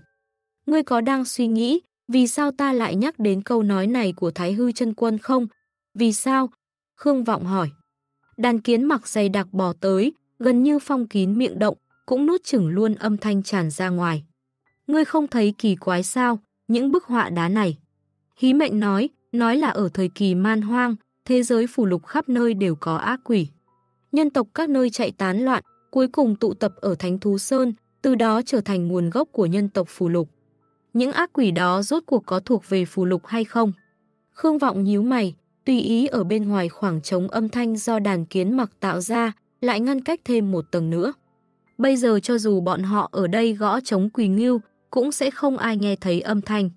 Hí mệnh tiếp tục, ở hiện thế của chúng ta, nào có cái gọi là thánh cấm không cho yêu tộc ra vào, cũng không có những ngăn cấm thiên nhiên nào với nhân tộc hay hải tộc. Thiên ý công bằng, không để ý ngươi là ai. Chẳng lẽ thế giới phù lục thiên vị nhân tộc sao? Vậy những ác quỷ tràn ngập man hoang, vây quanh Thánh Sơn là sao? Thế giới phù lục thiên vị ác quỷ sao? Vậy cái thánh cấm không cho ác quỷ lên núi là sao? Khương Vọng hiểu ra, ngươi muốn nói, lịch sử thế giới phù lục không tự nhiên. Những gì phản ánh trong các bức họa đá này không phải lịch sử bình thường. Tồn tại một ý chí nào đó đang can thiệp vào tiến trình lịch sử. Thậm chí là nàng đang quan sát thiên hạ trong lòng bàn tay, nhìn Sơn Hà trong bồn cảnh, chủ đạo sự tiến hóa của thế giới này. Hí mệnh thò ngón tay trỏ ra, cắm thẳng vào vách đá, dùng cách này để cảm nhận thân núi, từ những bức họa đá có thể thấy. Thời kỳ man hoang, ác quỷ chiếm cứ thế giới phù lục, vây quanh thánh thú sơn, lấy nhân tộc phù lục làm lương thực cho việc nuôi nhốt. Trong tình huống này, ta thực sự không nghĩ ra được nhân tộc phù lục làm thế nào có thể lật ngược tình thế, xuống núi, sinh sôi nảy nở nền văn minh. Khương Vọng cũng nói, các truyền thuyết thủy tổ của các bộ tộc phù lục đều là những thứ như miệng nước đầu tiên trên đời. Bếp lửa đầu tiên, người nhảy múa đầu tiên, không có truyền thuyết nào về việc tranh đấu với ác quỷ. Sử liệu càng sạch sẽ hơn, ở giữa đó có một khoảng gián đoạn khổng lồ. Cho nên, hí mệnh hỏi, ác quỷ của thế giới này đã đi đâu rồi? Đây hiển nhiên là một vấn đề đáng suy nghĩ sâu sắc, cả hai đều tạm thời im lặng. Tịnh lễ hòa thượng thầm niệm song kinh, như mộng sơ tỉnh, các ngươi đang làm gì vậy? Người này chuyên tâm như vậy. Đối với một bức họa đá cổ xưa, vì tội ác đã qua không biết bao nhiêu vạn năm mà tụng kinh hóa nghiệp, đây gần như không phải chuyện mà một vị hòa thượng bình thường nghĩ đến, bởi vì nó vô nghĩa. Với cả người sống lẫn người chết, đều như vậy. Nhưng hắn nhìn thấy, hắn nghĩ đến, hắn bèn làm như thế. Hơn nữa chuyên tâm và thành kính, hắn vốn cũng không phải người để ý đến ý nghĩa. Sự yên lặng của âm thanh bị phá vỡ, Khương Vọng khoác vai tịnh lễ, niệm kinh xong rồi, có thấy dễ chịu hơn chút nào không? Tịnh lễ ừm một tiếng, Khương Vọng ôm vai hắn đi, đi thôi, vào trong xem thử. Ngươi chỉnh sáng ánh sáng lên một chút. Tịnh lễ lặng lẽ tăng độ sáng hào quang Phật sau đầu, sáng đến mức hí mệnh theo sau phía sau cũng nghiêng đầu sang một bên, mắt hơi chói. Nguyên bản hang đá này ẩn sâu trong lòng núi, được tịnh lễ phủi đi bụi thời gian, khai quật ra. Chương 2546, chân trần nhảy múa. Nhưng ngoài các bức họa đá xuất hiện lần lượt, cũng không có gì đặc biệt khác. Toàn là các thứ như rìu đá, bếp than, không có gì đáng xem. Có lẽ vào thời cổ xưa, nơi đây là chỗ cư trú tập trung của một bộ tộc lớn, từng có thời kỳ huy hoàng ngắn ngủi thời mông muội, nhưng giờ cũng đã thành lịch sử rồi. Nói đến, Bạch Ngọc Hà đâu rồi? Khương Vọng đột nhiên hỏi. Tịnh lễ lắc đầu. Hí mệnh cũng lắc đầu, không nằm trong phạm vi tiếp xúc của đàn kiến đen. Cả hí mệnh và tịnh lễ đều tìm được manh mối hữu dụng, chỉ mình Bạch Ngọc Hà không có chút động tĩnh nào. Xét về lịch sử huy hoàng của tên này, Khương Vọng trong lòng nảy sinh dự cảm bất an, vội vàng xuyên ra ngoài hang động, vận khởi hàng ngoại đạo kim cương lôi âm. Bạch Ngọc Hà, Bạch Ngọc Hà, âm thanh truyền khắp bốn phía, lan tỏa cả Hùng Sơn. Nhĩ tiên nhân cũng toàn thần quán chú, bắt giữ manh mối. Chẳng bao lâu, quả nhiên bắt được hồi âm. Ở đây này, hí mệnh, tịnh lễ cùng Khương Vọng theo âm thanh mà đi, chỉ thấy Bạch Ngọc Hà mặc áo quần tả tơi, đầy bùn đất, lảo đảo bay tới. Trên người hắn tuy có mấy chỗ bị thương, may mà đều không nguy hiểm đến tính mạng, chỉ là trông có vẻ thê thảm một chút. Đây chính là vụ bị thương đầu tiên của các thành viên Bạch Ngọc Kinh tại thế giới phù lục. Ngươi bị sao vậy? Khương Vọng hỏi, phát hiện ngao quỳ rồi à? Hí mệnh nói, gặp phải ngao quỳ thì hắn còn về được sao? Cái núi chết tiệt gì đây, bẫy cũng nhiều quá đi. Bạch Ngọc Hà tức giận khó nguôi, ta mới đi chưa đến trăm bước, đã rơi vào 23 cái bẫy, đủ loại bùa chú đều có, lại giấu kín như bưng, căn bản là phòng không xuể. Hắn đánh giá Khương Vọng ba người, các ngươi không sao chứ. Rồi tự mình tặc một tiếng, kim khu ngọc tủy quả nhiên tốt mà. Hí mệnh nói, liệu có khả năng chỉ mình ngươi gặp bẫy không? Bạch Ngọc Hà cười khẽ, không còn sức để tính toán. Chuyện này rõ ràng là không thể nào, bốn người cùng đến Thánh Thú Sơn, chia nhau đi bốn hướng. Một ngọn núi lớn như vậy, sao có thể chỉ một mình bản thân bạch mỗ nhân dẫm phải bẫy chứ? Khương Vọng trầm ngâm, nơi mà nhân tộc phù lục bày ra nhiều cạm bẫy như vậy, tất nhiên phải có điều then chốt gì đó. Hắn hỏi, vừa rồi ngươi ở chỗ nào? Bên Tây Sơn ấy. Bạch Ngọc Hà vô tội nói, ta quan sát kỹ thế núi, kết hợp với thuật khám phong thủy, mới tìm ra được chỗ phong thủy tuyệt hảo. Không lý nào lại xảy ra vấn đề. Hí mệnh nói, nơi phong thủy tốt, toàn là chôn người chết. Nhất là trên núi. Trước khi họ kịp động thủ, Khương Vọng đứng phát dậy, qua đó xem thử. Bạch Ngọc Hà vội nói, chờ đã, trong hang đá này có gì, các ngươi quan sát nửa ngày rồi, ta còn chưa nhìn thấy gì hết. Hắn xăm xăm bước vào trong. Ẩm. Có lẽ là do tịnh lễ đã rời tảng đá lớn chắn ngoài cửa hang, có lẽ là do hang động bị không khí bên ngoài thâm nhập, phá vỡ trật tự cũ. Cũng có lẽ là do khi Khương Vọng và các người tìm kiếm manh mối trong hang động đã di chuyển vật gì đó rất quan trọng. Tóm lại, đúng vào lúc này, hang đá ẩm ẩm sụp đổ. Đá đất dày đặc chôn vùi tất cả. Ta thật may mắn. Bạch Ngọc Hà đứng bên miệng hang, cười nói, nếu ta vào trong rồi mới sập thì chẳng phải bị chôn vùi hay sao. Khương Vọng, đi thôi. Hí mệnh, đi thôi. Tịnh lễ, đi thôi. Bốn người bay về phía tây núi, rất nhanh đã tới nơi có phong thủy tuyệt hảo mà Bạch Ngọc Hà nói tới. Đó là nơi cỏ cây sum xuê nhất cả Thánh Thú Sơn, gần như tán cây nối liền nhau, dưới gió núi, tựa như sóng biếc nổi trào. Tịnh lễ nhắm hờ mắt, ở đây ta cảm nhận được một chút lực lượng Phật tính, rất yếu ớt, như ánh lửa đom đóm.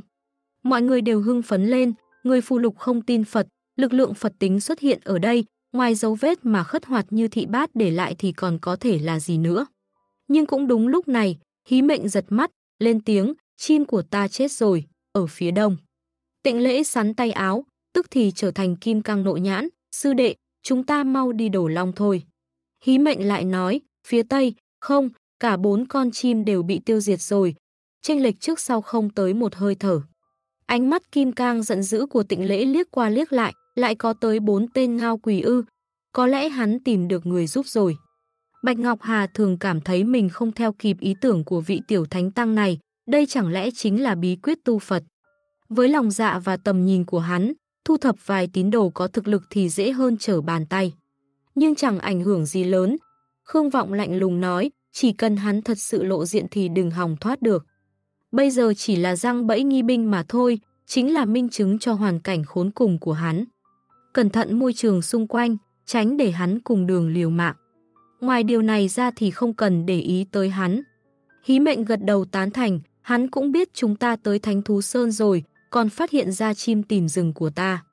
Đúng vào lúc này, hắn không giả chết nữa mà bắt đầu có động tĩnh. Ta nghĩ là nơi này có tình báo rất quan trọng. Hắn không muốn chúng ta phát hiện quá nhanh, hắn cần thời gian, hắn muốn dẫn dụ chúng ta đi. Tịnh lễ từ mắt kim cang giận dữ biến thành mày mở mắt cười, sư đệ thật thông minh. Bạch Ngọc Hà nghiêm túc nhắc nhở, cạm bẫy ở đây rất hoành hành, hơn nữa vì sức mạnh đồ đằng mà hòa hợp với thế giới này, cực kỳ ẩn nấp. Hí mệnh dùng ngón tay điểm xuống, kiến đen lập tức nối thành một cái thang trời, từ giữa không trung kéo dài tới rừng cây. Sau đó đột nhiên tản ra, phủ kín cả khu rừng núi này. Ăn hết những sức mạnh siêu phàm ẩn trên cạm bẫy là được. Hắn nói với giọng điệu nhạt nhẽo, sức mạnh đồ đằng cũng coi như thêm chút bổ sung cho chúng. Kiến đen thân nhỏ hình nhẹ, sinh mệnh khí tức cực kỳ yếu ớt, gần như sẽ không kích hoạt cạm bẫy. Chúng nhẹ nhàng bò qua rừng núi, đem sức mạnh mà các cường giả phù lục để lại nuốt hết sạch. Những cạm bẫy này coi như bỏ đi.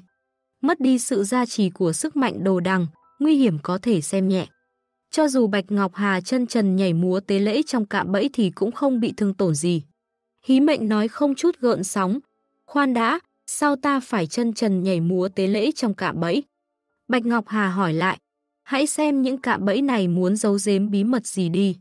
Khương Vọng phi thân hạ xuống, khi thế 10 phần. Thuận tay vỗ vỗ hí mệnh, đẩy hắn lên phía trước. Cơ quan mặc ra, thiên hạ vô song.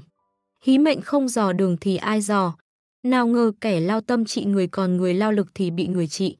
Hí mệnh cũng chẳng sợ khó sợ hiểm, đi ở phía trước, tay áo lớn vung lên, ba khối kim loại hình vuông màu đen mang hoa văn nhện trực tiếp nhảy ra. Ở giữa trời đã biến đổi hình thái, hóa thành ba con nhện cơ quan cao nửa người. Chia làm ba phương vị, thành hình chữ phẩm, nhanh chóng lao vào trong rừng. Mắt kép xoay chuyển, chân nhện như mâu, chỉ nhảy một cái đã xuất hiện ảo ảnh. Chúng san bằng hố sâu, chặt đứt cành hang, nhanh chóng tiến lên đồng thời, dò xét mọi nguy hiểm có thể tồn tại. Ngay cả những bụi gai mọc trên đường đi qua cũng đều bị chém sạch sẽ. Bốn người đi sát theo sau, bước trên con đường bằng phẳng, rất nhanh đã tới một khu đất hoang rộng lớn giữa rừng. Nơi này cỏ dại um tùm, dây leo quấn quýt, lại thêm cây đổ dễ lộn, hố lỗ chẳng chịt. Trông qua tiêu điều, lạnh lẽo, dường như là một nơi bị lãng quên trên thánh thú sơn vĩ đại này. Bởi vì địa thế, ở trên cao cũng không thể trực tiếp nhìn thấy chỗ này. Vô số cạm bẫy do các chư linh phù lục bố trí vây quanh, chỉ là một mảnh đất hoang không có gì như thế này thôi sao? Khương Vọng hỏi. Bạch Ngọc Hà nắm một ít đất, dùng ngón cái và ngón trỏ nhẹ nhàng vò vò, chỗ này vốn phải có gì đó, chỉ là sau này bị bỏ hoang. Môi trường ở đây đã bị thay đổi rất nhiều lần, gần như bị đào sới ba thước, lật tìm từng tấc từng tấc, chắc là do các linh thể đồ đằng kia làm. Sẽ không còn vật gì có giá trị cao tồn tại nữa đâu. Hắn suy nghĩ, bổ sung, giá trị này là tương đối với phù lục mà nói. Những vật phẩm giá trị cao trong nhận thức của người phù lục chắc chắn đều đã bị lục soát mang đi hết rồi. Sau khi cào đất ba thước mà vẫn để lại nhiều cạm bẫy như vậy, chứng tỏ đây là một nơi rất đặc biệt với họ. Có lẽ họ đang mong chờ biến hóa về sau, mong chờ còn có việc gì xảy ra ở đây. Có thể liên quan tới một số truyền thuyết nào đó. Con nhện của hí mệnh lúc này đã quét qua khu đất hoang này, đang cảnh giới ở bên ngoài, hắn đặt một ống tròn kim loại dựng thẳng trên mặt đất. Theo tiếng vo ve trầm thấp, trong ống tròn có thứ gì đó đang nhanh chóng xâm nhập vào lòng đất. Lực nguyên quanh ống tròn kim loại khi dày khi mỏng, biến hóa mãnh liệt. Hắn lạnh lùng phân tích, đây là một chiến trường. Đã từng có những tồn tại cường đại giao chiến ở đây, thời gian rất lâu về trước. Có lẽ chính là nguyên nhân khiến Thánh Thú Sơn đổ nát. Lực lượng Phật tính mà ta cảm nhận được, đang tản mát ở đây. Tịnh lễ nghiêm túc nói, mỗi người đều dùng cách của mình để thu thập tình báo. Khương Vọng rất thích bầu không khí đoàn kết hợp tác này, còn gì nữa không? Tịnh lễ hơi mơ hồ, chúng dường như đang kháng cự ta. Khương Vọng trầm ngâm nói, sức mạnh của thiên Phật kháng cự một vị tiểu thánh tăng chính thống Phật môn. Hợp lý. Nếu nói lực lượng của thiên Phật, cũng chính là lực lượng của khất hoạt như thị bát đã từng xuất hiện ở đây. Trong tình huống ngao quỳ vội vàng giấu bảo vật rồi chạy trốn, nó lẽ ra phải ẩn nấp ở một nơi u ám không ánh sáng mặt trời, chờ đợi ngao quỳ khởi động lại sau nhiều năm. Vậy tại sao lại có lực lượng phân tán tại Thánh Thú Sơn? Ngao quỳ không thể nào không nhìn ra ý nghĩa trọng yếu của Thánh Thú Sơn với thế giới phù lục, không thể nào giấu bảo vật tại đây. Vậy nó xuất hiện ở chỗ này bằng cách nào? Nếu nói lực lượng của khất hoạt như thị bát, chính là một bên giao chiến ở nơi đây, vậy lực lượng của bên kia đến từ đâu? Các bạn đang nghe chuyện xích tâm tuần thiên của tác giả Tinh Hà Dĩ Thậm tại Thư viện Sách Nói miễn phí, chuyện đọc việt.com Chương 2547, Linh tính hóa sinh Ta biết mấy tên linh thể đồ đằng kia thu hoạch được gì ở đây rồi. Ngữ điệu của hí mệnh rất khẳng định, linh tính hóa sinh. Khương Vọng hơi xa lạ với điều này, linh tính hóa sinh.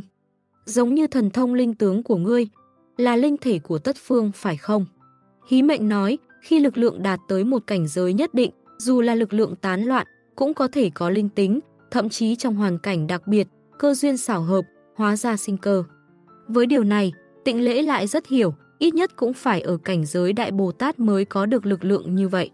Nhục thân xá lợi, pháp chứng Bồ Đề, ở cảnh giới Đại Bồ Tát, dù lực lượng tán lạc, từng chút từng tí đều là Bồ Đề. Hí mệnh tiếp tục nói, những sự vật từng tự do ở đây là do lực lượng tán tản của hai tồn tại hùng mạnh do chiến hóa sinh ra, vì vậy tự nhiên có thể thể hiện một số quy tắc lực lượng. Người tu hành đến một cảnh giới nhất định, có thể từ đó mà có chỗ lĩnh ngộ, thực sự không hiếm thấy. Bọn chúng tới rất nhanh, linh tính hóa sinh chưa tan đi.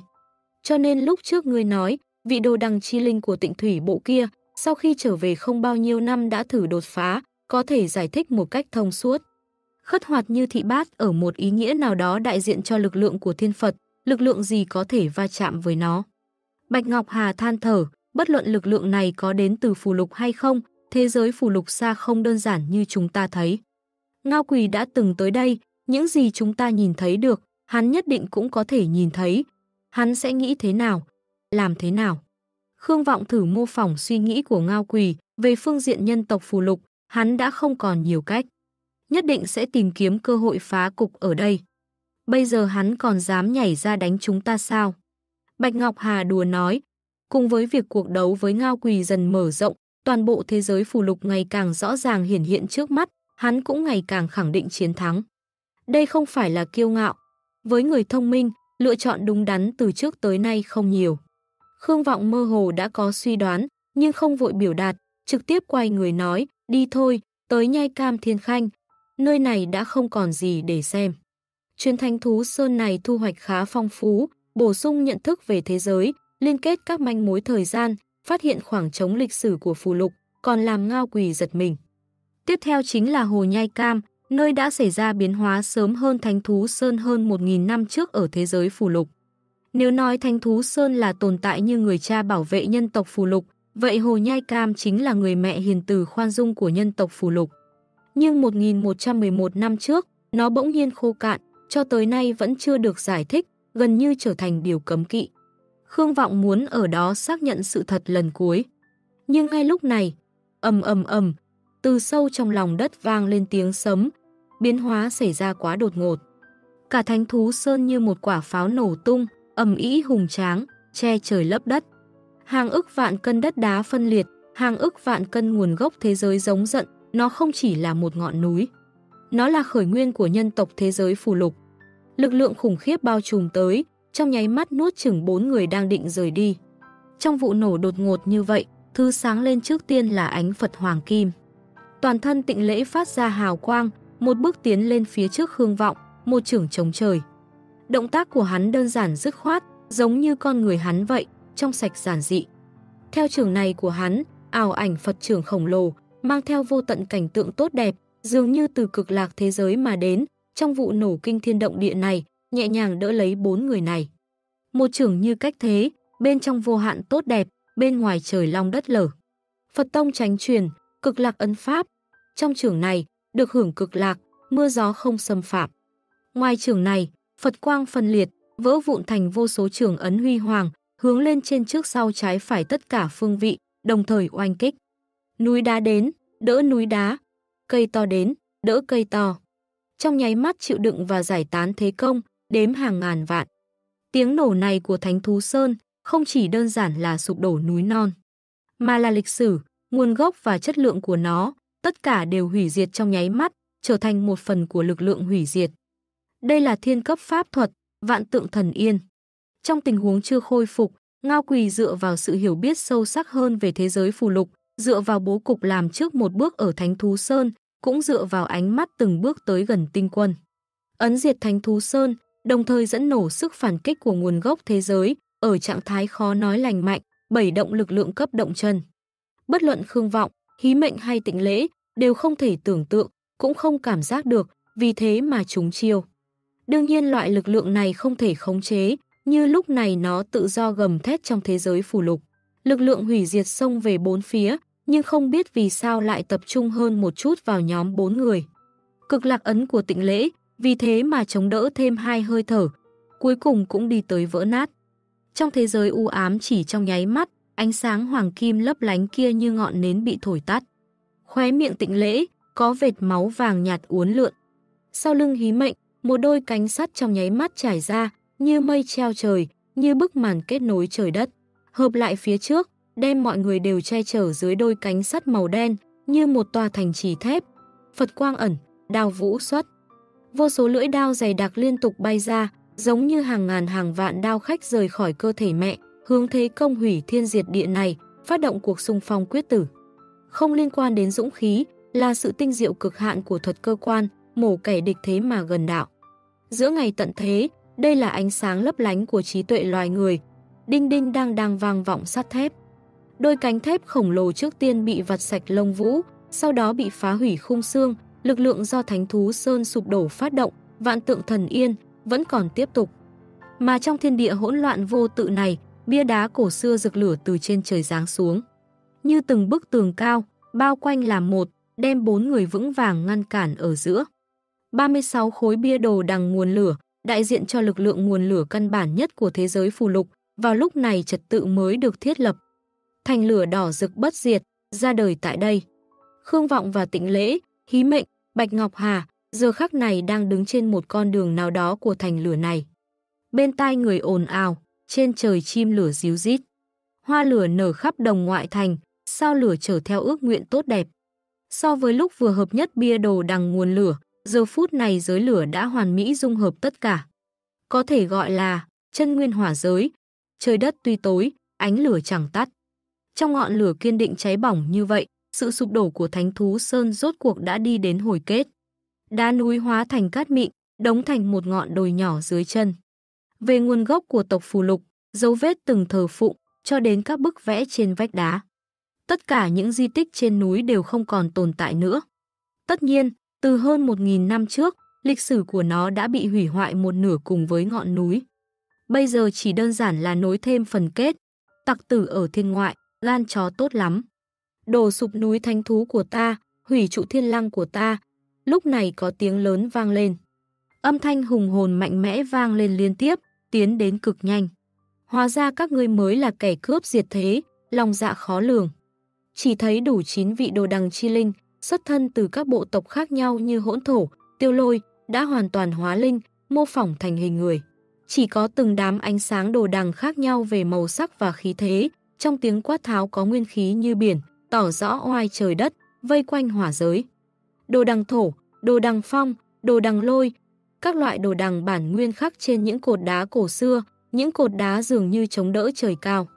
Cứ như vậy, giờ phút này dựng lên một tế đài uy nghiêm để tế lễ bản nguyên thế giới, để trừng phạt kẻ ngoại tộc ngông cuồng. Những gì lơ lửng giữa trời đất là bài ca tế cổ xưa huyền bí. Thế giới này giây phút đó rõ ràng đến thế nào đang xua đuổi kẻ ngoại lai. Bản nguyên của thế giới phù lục không nghi ngờ gì yêu ái những đồ đằng chi linh này. Nhưng người đàn ông bước lên phía trước nhất trong diễm thành, chỉ bình thản hỏi, sao ngao quỷ không xuất hiện? Hắn vẫn chưa lành vết thương, vẫn chưa có dũng khí đối mặt với ta ư. Ngao quỷ gì bọn ta không biết, ngươi dám hủy hoại Thánh Thú Sơn, thân là người phù lục, chắc chắn không thể tha cho ngươi. Trương Lâm Xuyên, ngày chết của ngươi đã đến rồi. Dơ tay chịu trói, khéo còn có vẹn toàn thầy. Nói nhảm gì với hắn? Thừa cơ lúc hắn đang bệnh, lấy mạng hắn. Mấy tôn đồ đằng chi linh, kẻ nọ oai phong hơn kẻ kia, kẻ nọ chính nghĩa hơn kẻ kia. Khương Vọng cười, điều gì khiến các ngươi nghĩ rằng ta bị bệnh? Hắn chắp tay sau lưng đi trên con đường lát bằng lửa, chỉ nhấc chân, đặt chân. Điều gì khiến các ngươi nghĩ rằng đây là giới hạn của ta? Ẩm. Chân nguyên hỏa giới nhanh chóng mở rộng, trong nháy mắt đã nuốt chừng chín tôn đồ đằng chi linh này, cùng với tế đài cổ xưa của họ vào trong giới này. Khi kiến lập văn tiên vực, phạm vi giới hạn của Khương Vọng là 3.000 trượng vuông, theo sự tinh tấn tu hành, vẫn đang không ngừng mở rộng. Chân nguyên hỏa giới bây giờ cũng đã bắt kịp. Khi nhấc chân chân nguyên hỏa giới mở rộng, khi hạ chân bụi trần đã định. Căn bản không tồn tại chỗ nào để chống cự. Chương 2548, kẻ thắng cuộc có thể có tâm trạng thư thái. Trong khoảnh khắc chín tôn đồ đằng chi linh rơi vào chân nguyên hỏa giới, đã bị đốt cháy chỉ còn lại quả cầu linh tính bằng nắm tay. Tùy ý nhào nặn, quá yếu. Đối với Khương Vọng bây giờ, những đồ đằng chi linh này quá yếu. Đành rằng họ có thể điều động lực lượng trời đất ở thế giới này, phát huy sức chiến đấu không thua gì thần lâm, tuổi thọ cũng được nâng cao nhờ hóa linh. Nhưng điểm yếu cũng rõ ràng như vậy, một khi cắt đứt liên hệ của họ với đồ đằng bản nguyên, giống như một tấm lưới ném cá lên bờ. Mà chân nguyên hỏa giới hiện tại đã hoàn toàn đủ tư cách độc lập thành giới. Tuy họ ở phù lục, nhưng ở trong giới trong giới đã không còn ở phù lục nữa. Bị cắt thành những quả cầu đủ màu sắc, thuần túy chỉ vì đẹp mắt. Kẻ thắng cuộc có thể có tâm trạng thư thái. Bây giờ chín quả cầu linh tính đang lơ lửng trước mặt Khương Vọng, khóc than sám hối, cầu xin không ngớt. Khương Vọng không hỏi họ câu nào. Nếu nói Ngao Quỳ dẫn dắt điều khiển mấy tôn đồ đằng chi linh này, vẫn có thể biết được bí mật gì của họ, vậy cuộc chiến trong lồng bao trùm thế giới phù lục này căn bản sẽ không mở màn. Khương Vọng trải qua bao năm mưa gió, sao lại còn bị lừa bởi kẻ bất tài như vậy? Hắn chỉ lặng lẽ nhìn chín quả cầu linh tính này, cố gắng nhìn thấy con rồng già thao túng họ, giọng nói hòa nhã, ngao quỳ, ngươi trốn đi đâu rồi? Sao lại hà tiện không gặp mặt? Chúng ta không phải là bạn tri kỷ sao? Ta không phải là tiểu hữu thân thiết của ngươi sao? Hô hô hô hô. Trong 9 quả cầu linh tính, quả cầu linh tính màu tím đại diện cho đồ đằng chi linh bộ tộc tiêu lôi, lập tức biến thành màu đen nhánh, ngay cả trong chân nguyên hỏa giới bị áp chế này, vẫn duy trì được một mức tự chủ nhất định. Ngao quỳ quỷ quyệt, quả nhiên vẫn giữ lại thủ đoạn khống chế một hoặc toàn bộ 9 vị đồ đằng chi linh. Hắn nghe được lời chào của Khương Vọng, sau khi giáng lâm thế giới phù lục, lần đầu tiên chính thức nói chuyện với Khương Vọng, ngươi khiến ta thật bất ngờ đó, tiểu hữu lần đầu gặp ngươi chỉ là con kiến, là gánh nặng của tên hòa thượng kia, bây giờ lại có thể ngồi xuống đánh cược với ta, ép ta vào tình thế này. Vạn tượng thần yên cũng không giết được ngươi. Khương Vọng bình tĩnh nhìn quả cầu đen nhánh này, sao ngươi quên rồi ư? Lúc đầu chính là gánh nặng này, khiến ngươi lỡ mất vị trí tinh quân. Trong quả cầu đen, ngao quỷ cười lớn, ồ, ồ, xin lỗi, cứ xem ngươi là trẻ con. Tiếp xúc với nhau ngày đêm lâu như vậy, quên mất ngươi vốn đã hung dữ như thế. Khương Vọng nói, quên cũng không sao, lần này ta giúp ngươi nhớ lại. Nhưng tiểu hữu, ngươi cũng phải nhớ. Nếu không phải vì tên chọc kia, ngươi vẫn chưa đủ tư cách lên mặt bàn. Ngươi sắp thua sạch cả vốn lẫn lời rồi, bây giờ vẫn đang suy nghĩ đến tư cách sao. Vậy thì còn muốn nói gì nữa nhỉ? Giọng nói trong quả cầu đen hỏi. Khương Vọng nói, nói xem ngươi gây ra vạn tượng thần yên sớm, là để che giấu điều gì đi. Ta nhớ ra rồi, nhớ ra phải nói gì rồi. Các ngươi còn để lại một người ở Khánh Hỏa Bộ đúng không? Quả cầu đen lóe sáng dữ dội mấy lần, đột ngột phình to, giọng nói của ngao quỷ cũng biến thành độc ác. Nàng sắp chết rồi. Quả cầu đen do đồ đằng chi linh bộ tộc tiêu lôi hóa thành, trong sự lóe sáng dữ dội, mang theo ác ý sắc bén của ngao quỷ cùng nhau nổ tung. Trước khi nổ tung, đột nhiên có một bàn tay sạch sẽ vươn tới. Bàn tay này thuộc về một tiểu quang đầu mày mắt thanh tú. Hòa thượng tịnh lễ vươn tay nắm lấy quả cầu đen. Giây phút này hào quang đen bùng cháy, nhưng màu đen nhớp nháp đó lao đến tay tịnh lễ hòa thượng, căn bản không thể bám vào, chỉ thê lương trượt xuống, như giọt mưa lăn trên vải mưa. Lúc này có ký hiệu vạn tự màu vàng không gian xuất hiện, từng ký hiệu rơi xuống quả cầu. Đập tan sự kịch liệt thành bình đạm, đập tan gào thét thành nín lặng, đập tan ác ý bùng nổ, quả cầu phình to, tất cả đập trả lại. Khương Vọng ra lệnh khiến quang cầu chuyển lại thành màu tím, ép ra giọt mực đen như nhuộm này từ lòng bàn tay. Quang cầu màu tím lại tuân phục trước mặt Khương Vọng. Những vu trúc của tiêu lôi bộ oán độc nguyền rủa nhưng thanh âm không được phép phát ra. Bởi vì giờ phút này, Lưu Ly Phật tử muốn nói. Nguy Nga Thánh Thú Sơn đã thành lịch sử, rực rỡ hỏa giới hóa thành viên đạn. Mọi người cực tốc bay về Khánh Hỏa Bộ, tỏ ra gấp rút phi thường. Tịnh lễ dùng lòng bàn tay nâng mực đen, ngũ quan thanh tú trong sáng, tuôn chảy sự kiên định thuần khiết. Sư phụ ta nói, nếu có người nói điều ta không thích nghe, ta có thể đánh họ. Giọt mực ồ một tiếng, sư phụ của ngươi là ai? Tịnh lễ rất tự hào, sư phụ ta là vị tịnh độ Phật tương lai, là trụ trì kế tiếp của huyền không tự, hiện là trụ cột tinh thần của Tam Bảo Sơn. Không biết, lung tung gì vậy? Tiếng của ngao quỳ vang lên. Lại hỏi, ta nói gì mà ngươi không thích nghe? Tịnh lễ nghiêm mặt, rất nghiêm túc tức giận, trước đó là sư đệ không thích nghe, giờ là ta không thích nghe. Ta có tình cảm sâu đậm nhất với hòa thượng.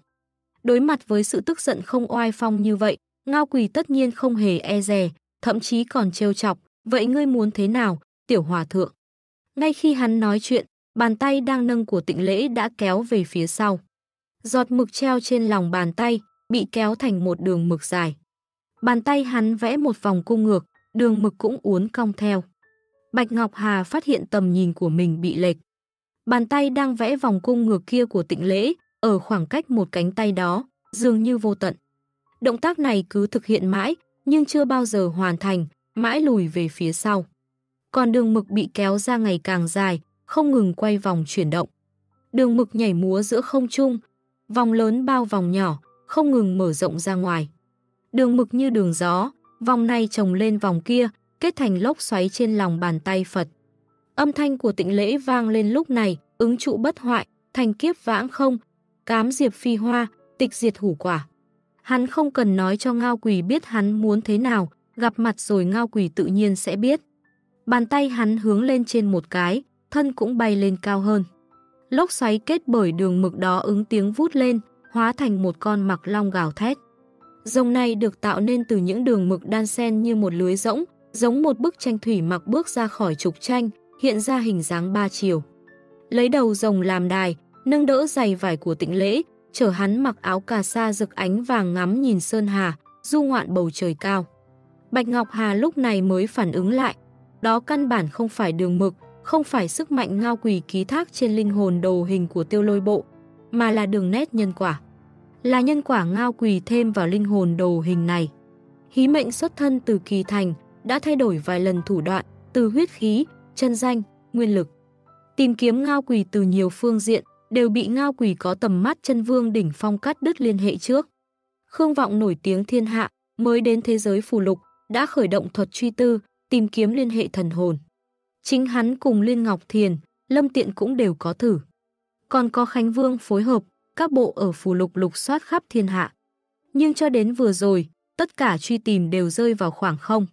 Mãi đến giây phút này, tịnh lễ ngăn chặn sự hủy diệt của linh hồn đồ hình tiêu lôi bộ, từ trên người nó tìm ra nhân quả. Từ quả tìm nhân, cuối cùng mới được lần đầu tiên thực sự nắm bắt được phương hướng của ngao quỷ.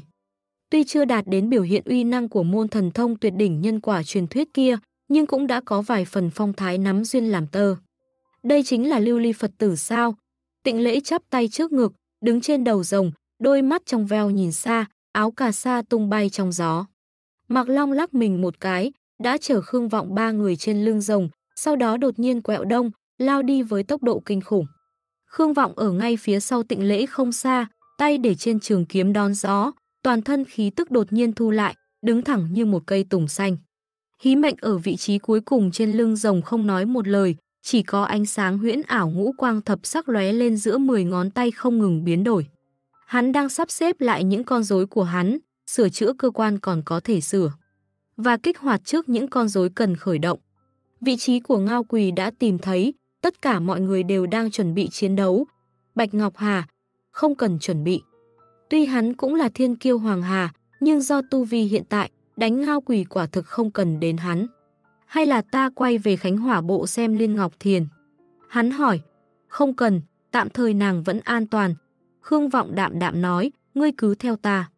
Với sự thông minh của Bạch Ngọc Hà, tất nhiên nghe một cái là hiểu, Khương Vọng đã chuẩn bị trước. Đồng thời cũng hiểu, những chuẩn bị này không thể nói trước.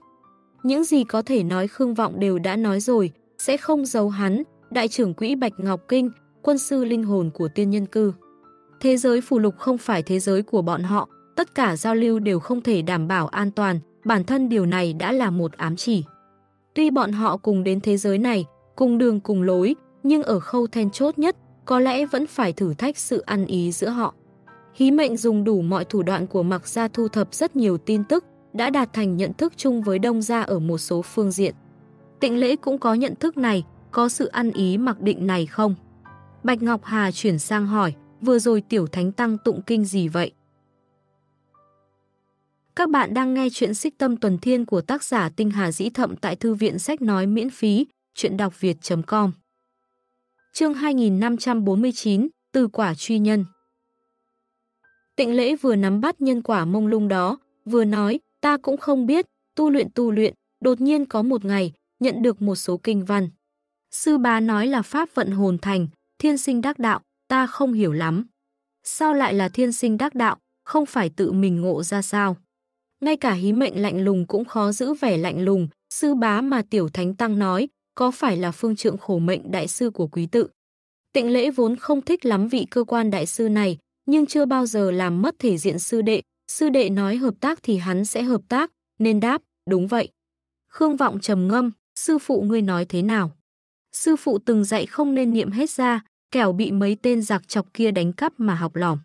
Hai chữ giặc chọc lọt vào tai, Khương Vọng nghĩ tới cuốn quán tự tại nhĩ của mình, cùng với hàng ngoại đạo kim cương lôi âm được gài trong bí tịch, không khỏi có phần lúng túng. Sao khổ giác lại không thấy ngượng ngùng nhỉ? Ý ta là, người ấy đánh giá thế nào về kinh văn này của ngươi? Dù kẻ thù lớn đang ở trước mắt, lại đang bận rộn bắt giữ nhân quả, tịnh lễ vẫn khó giấu vẻ kiêu ngạo trên mặt. Sư phụ nói bộ kinh thư này đặt trong các tác phẩm Phật giáo của thế giới đại thiên cũng là đỉnh cao, chỉ đứng sau kinh khổ giác trí tuệ do người ấy sáng tác. Nhìn lại lịch sử Phật Tông, từ thời cổ đại cho tới nay, thiên phú của ta cũng chỉ thua sư phụ mà thôi. Giữa bao bận rộn, hắn còn quay lại nhìn Khương Vọng một cái, an ủi ấm áp, sư đệ, ngươi có thể xếp ngang hàng với ta. Sự kiêu ngạo cả đời của khổ giác đều được thổi hết trước mặt tịnh lễ. Cũng chỉ có tịnh lễ mới tin tưởng hắn một cách trọn vẹn không chút nghi ngờ như vậy. Khương Vọng sừng sốt một chút, sao ta chưa từng nghe qua bộ kinh này, người đã dạy ngươi sao? Phải có cảnh giới thế nào mới dám đem tên mình viết vào tên kinh chứ? Khổ giác chắc chắn không phải thiên tài số một Phật Tông, nhưng ông tuyệt đối là kẻ đầu tiên dám soạn kinh như vậy ngay từ tầng thứ chân nhân. Tịnh lễ lắc đầu, sư phụ nói kinh không thể truyền bừa, tuổi của ta bây giờ còn quá nhỏ để gánh vác trí tuệ của người ấy. Chỉ đến khi nào ta đuổi kịp sư phụ mới có tư cách được truyền thụ. Chuyện truyền kinh thuyết đạo vốn luôn có yêu cầu về thiên phú, ngộ tính, căn cốt, tâm tính. Lần đầu tiên nghe nói còn có yêu cầu về tuổi tác. Tịnh lễ đúng là đứa trẻ ngốc nghếch, sợ là chưa từng nghĩ tới, tuổi của hắn vĩnh viễn cũng không đuổi kịp tuổi của khổ giác. Quả nhiên là bịa đặt, Khương Vọng suýt nữa cũng tin luôn. Nói là chỗ nào không ổn, nếu thật sự có bộ kinh này, khổ giác hẳn đã sớm lấy ra khoe khoang. Vấn đề là nếu khổ giác dám nói trước mặt hắn rằng cái gì khổ giác trí tuệ kinh mới là kinh số một Phật Tông, hắn nhất định sẽ lấy từng câu từng chữ ra so sánh với các kinh điển chính thống của Phật môn. Cũng chỉ có tịnh lễ là tin sâu không nghi. Bạch Ngọc Hà không hiểu rõ lắm về khổ giác, nói đúng hơn là không quen biết, huyền không tự gần như không có hồ sơ gì về người này. Hắn chỉ cảm thấy người có thể dạy ra tịnh lễ, lại có quan hệ sâu xa với đông gia, chắc chắn cũng là vị tiền bối đức cao vọng trọng. Thế là hắn kính cẩn nói, bộ kinh này của tiểu thánh tăng, không biết tên là gì, vẫn chưa ngộ xong, cũng chưa đặt tên. Tịnh lễ không quay đầu lại nữa, nhưng giọng nói rất nghiêm túc với Khương Vọng, sư đệ à, ngươi học rộng biết nhiều, kiến thức phong phú, hãy giúp ta nghĩ cái tên đi. Cảm nhận được sự tin tưởng nặng trĩu này, Khương Vọng chân thành nói, ta nhất định sẽ suy nghĩ thật kỹ giúp người Bạch Ngọc Hà định nói lại thôi. Trên đường bay đến Khánh Hỏa Bộ, đội hình cao tốc chuyển hướng, Long Tử mặc tuyến từ hướng đông quay về. Hành động bay thẳng đến Khánh Hỏa Bộ ngay từ đầu, bản thân đã là một nước cờ giả, nhằm đánh lạc hướng kẻ địch. Trong cuộc chiến lồng này, làm sao họ có thể để Ngao Quỳ rất mũi chứ? Ngao Quỳ càng mong muốn họ đến nơi nào, càng không được đến đó. Ngao Quỳ càng không muốn họ đến chỗ nào, càng phải đến. Vừa nãy mỗi người đều dùng cách của mình để bắt giữ tung tích của Ngao quỷ nếu không thể bắt được, mục tiêu của họ vẫn là nhai cam thiên khanh. Tất nhiên tịnh lễ đã bắt được vị trí của Ngao quỷ một cách đáng mừng, vậy thì truy tìm Ngao quỷ chính là việc quan trọng nhất hiện giờ. Sự việc bất thường ắt có trá. Vạn tượng thần yên là một lực lượng tầng động chân, có thể được sử dụng như một tuyệt chiêu trong trận chiến này. Nó xuất hiện một mình, bản thân đã là một sự phô trương. Khương Vọng, Tịnh Lễ, Hí Mệnh, cả ba liên thủ, há lại để một đòn động chân là giết chết được. Vẫn là một đòn động chân không thể tập trung lực lượng vì mất đi sự điều khiển hoàn toàn. Có thể khiến tịnh lễ phun ra một ngụm máu, đã là một màn thể hiện cực kỳ uy mãnh của ngao quỷ. Dù sao cũng là từng tiếp cận tinh quân, chỉ với tầm nhìn cao nhất của động chân mới có thể vận dụng ngoại lực đến thế. Khương Vọng tin rằng, cho dù là ngao quỷ, muốn tích góp ra thủ đoạn như vậy cũng không hề dễ dàng. Hắn là một người giỏi học hỏi, từ trọng huyền tuân từng đánh bại hắn, hắn học được cách gạt bỏ những phức tạp bên ngoài, chỉ thẳng vào bản chất của vấn đề.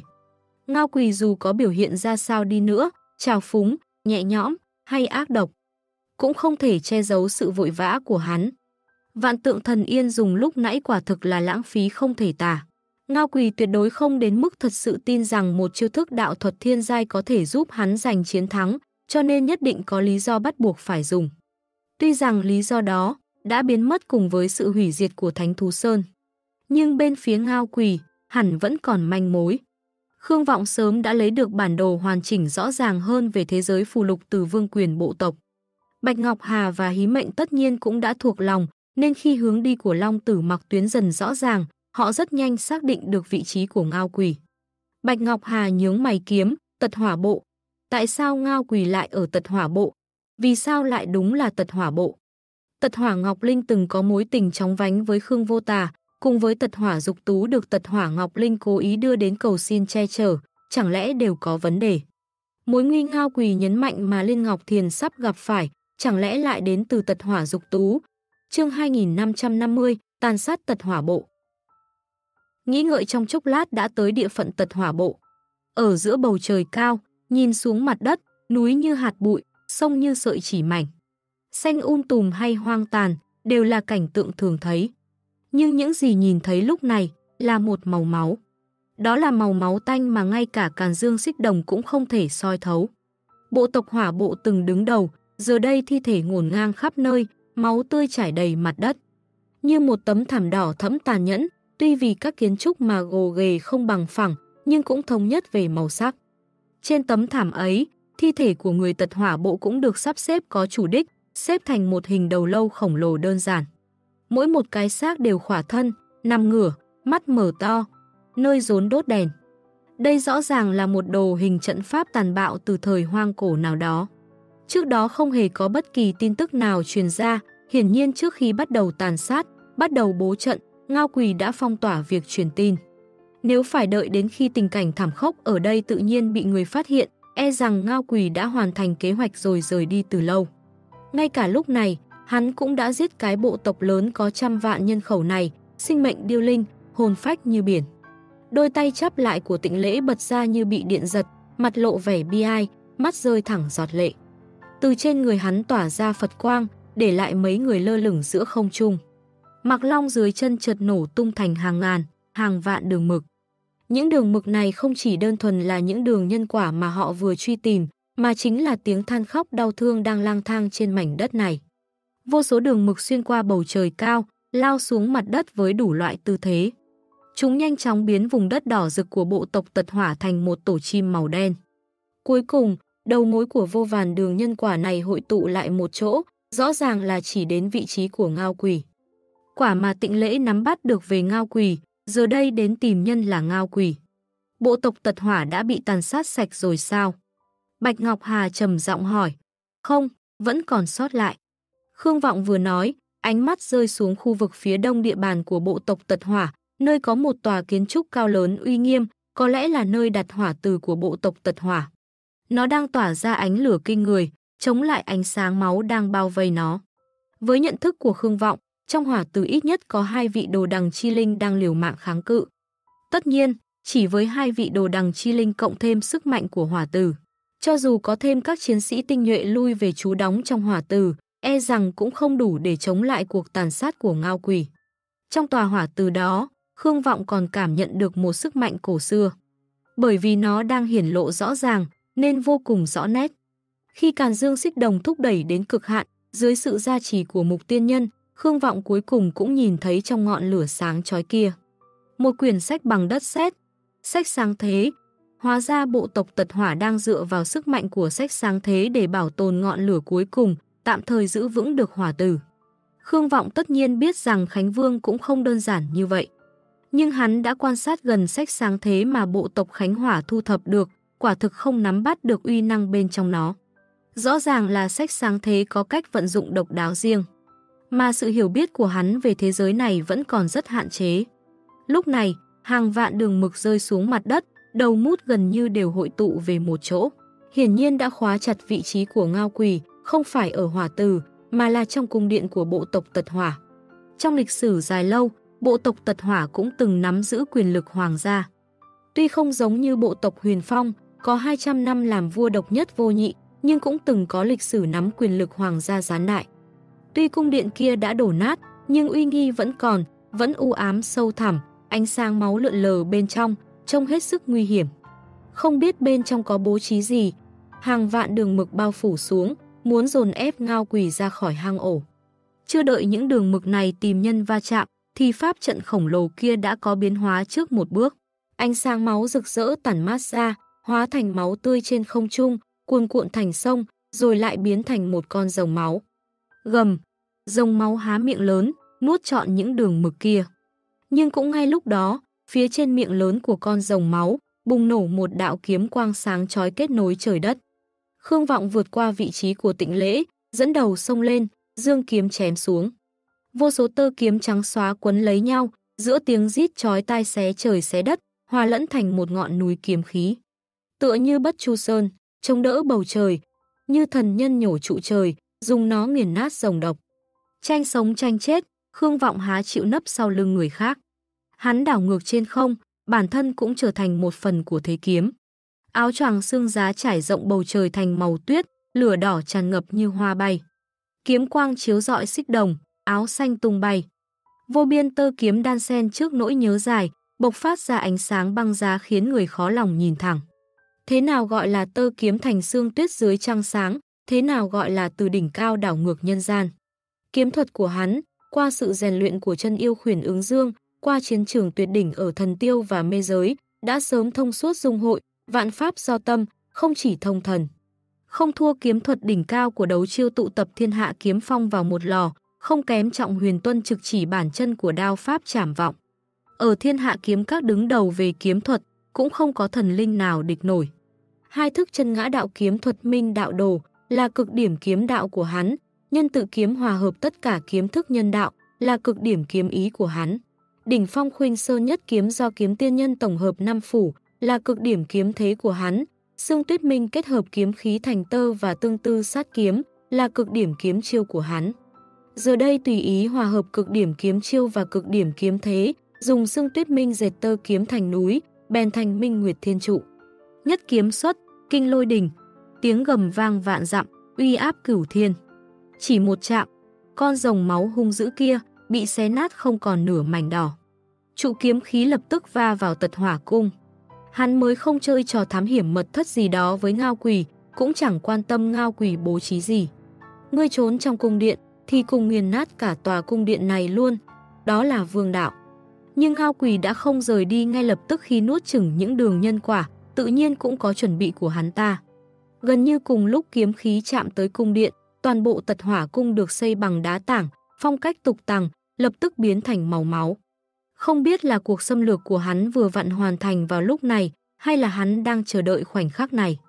Tường đá, ngói lợp đều như ngọc máu, tật hỏa cung vốn dĩ tục tàng, lộ ra vẻ hoa lệ quái dị, huyết quang sông lên tận trời. Từ lan sang máu cuồn cuộn như sông trời kia, vọt ra 18 loại binh khí máu như đao, thương, kiếm, kích, việt, đều lộ ra phong mang sắc bén, sử dụng 18 bộ chiêu pháp, đều ở tầng thứ đỉnh cao, cùng hướng về phía thanh kiếm của Khương Vọng. Nhưng Khương Vọng hôm nay, trừ phi ngao quỷ tự mình cầm đao cầm thương, bằng không sao có thể ngăn cản. Chiêu pháp tinh diệu đến mấy, muốn rời tay đối phó Khương Vọng, đều là ảo tưởng. Dù sao chiêu pháp vừa thi triển đã lộ hết bản lĩnh, mà Khương Vọng là cao thủ thắng bại vô song thiên hạ. Chỉ thấy thanh sam xương kiếm, thế rơi chẳng dứt, kiếm ý chẳng ngừng. Chỉ nghe lanh keng liên miên tựa tiếng tỳ bà, thế trường tương tư như chảy tre, phá này lại phá kia, dường như phía trước chưa từng có trở ngại, vậy mà vẫn đụng phải tật hỏa cung. Không, nơi lưỡi kiếm sáng bạc chạm vào, lại là một tầng quang chắn màu máu. Quang chắn màu máu này bao phủ toàn bộ tật hỏa cung, như một viên hổ phách máu khổng lồ, vững vàng chặn lại kiếm của Khương Vọng. Huyết quang cùng xương quang nháy mắt bùng nổ, tia lửa lóa mắt tung tóe đầy trời. Cũng trong chớp mắt ấy, hí mệnh nâng tay bắn ra một mũi tên từ nỏ tay của hắn, nhắm thẳng vào tật hỏa cung. Đã nung nấu từ lâu, không cần phải tích tụ thêm nữa. Mũi tên này vừa rời dây cung đã phát ra tiếng rít chói tai, tựa hồ không gian là một khối lưu ly đông cứng thành thực chất, mà đầu mũi tên dùng lực cào lên lưu ly. Âm thanh này đâm thẳng vào tim, mũi nhọn vang vọng tám phương. Lông đuôi của mũi tên để lại ba đường song song phía sau, vẽ nên đường cong tao nhã trên không trung, tựa như lông chìm chỉ. Mũi tên này rời dây thực chất không thể thấy được, chỉ có thể nhìn thấy đường vân đuôi của nó trong tầm mắt. Khi nó trong nháy mắt đụng phải lớp quang chắn màu máu bên ngoài tật hỏa cung, Bạch Ngọc Hà mới có thể nhìn rõ hình dạng của mũi tên này. Đầu mũi tên có ba cạnh, thân tên khắc đầy phù văn phức tạp, đuôi tên hai mảnh, trắng như mây, không nhiễm bụi trần. Tên của mũi tên là tá giáp. Và sức sát thương khủng khiếp mà nó mang lại, khiến cho quang chắn màu máu đang khổ chiến dưới kiếm của Khương Vọng, sóng gợn như nước. Hí mệnh bước đi trên bầu trời cao, đôi mắt lạnh lùng quét qua huyết hổ phách, tìm kiếm những kẽ hở có thể xuất hiện trong quá trình va chạm lực lượng. Nỏ tay liên tục dội tên, ba mũi tên tiếp theo đều khác nhau, hoặc tập trung vào xuyên thấu, hoặc tập trung vào ngăn chặn nguyên lực. Đây cũng chưa phải tất cả. Các bạn vừa nghe xong tập 255 của bộ truyện Xích Tâm Tuần Thiên của tác giả Tinh Hà Dĩ Thậm tại thư viện sách nói miễn phí. Chuyện đọc việt.com Mọi ý kiến góp ý xin vui lòng cho mình biết ở dưới phần bình luận video này. Và các bạn đừng quên nhấn like và đăng ký theo dõi để có thể cập nhật các nội dung mới nhất nhé. Bên cạnh đó, các bạn cũng có thể đóng góp ủng hộ kênh theo mã QR trên video hoặc số tài khoản ở phần mô tả. Xin cảm ơn.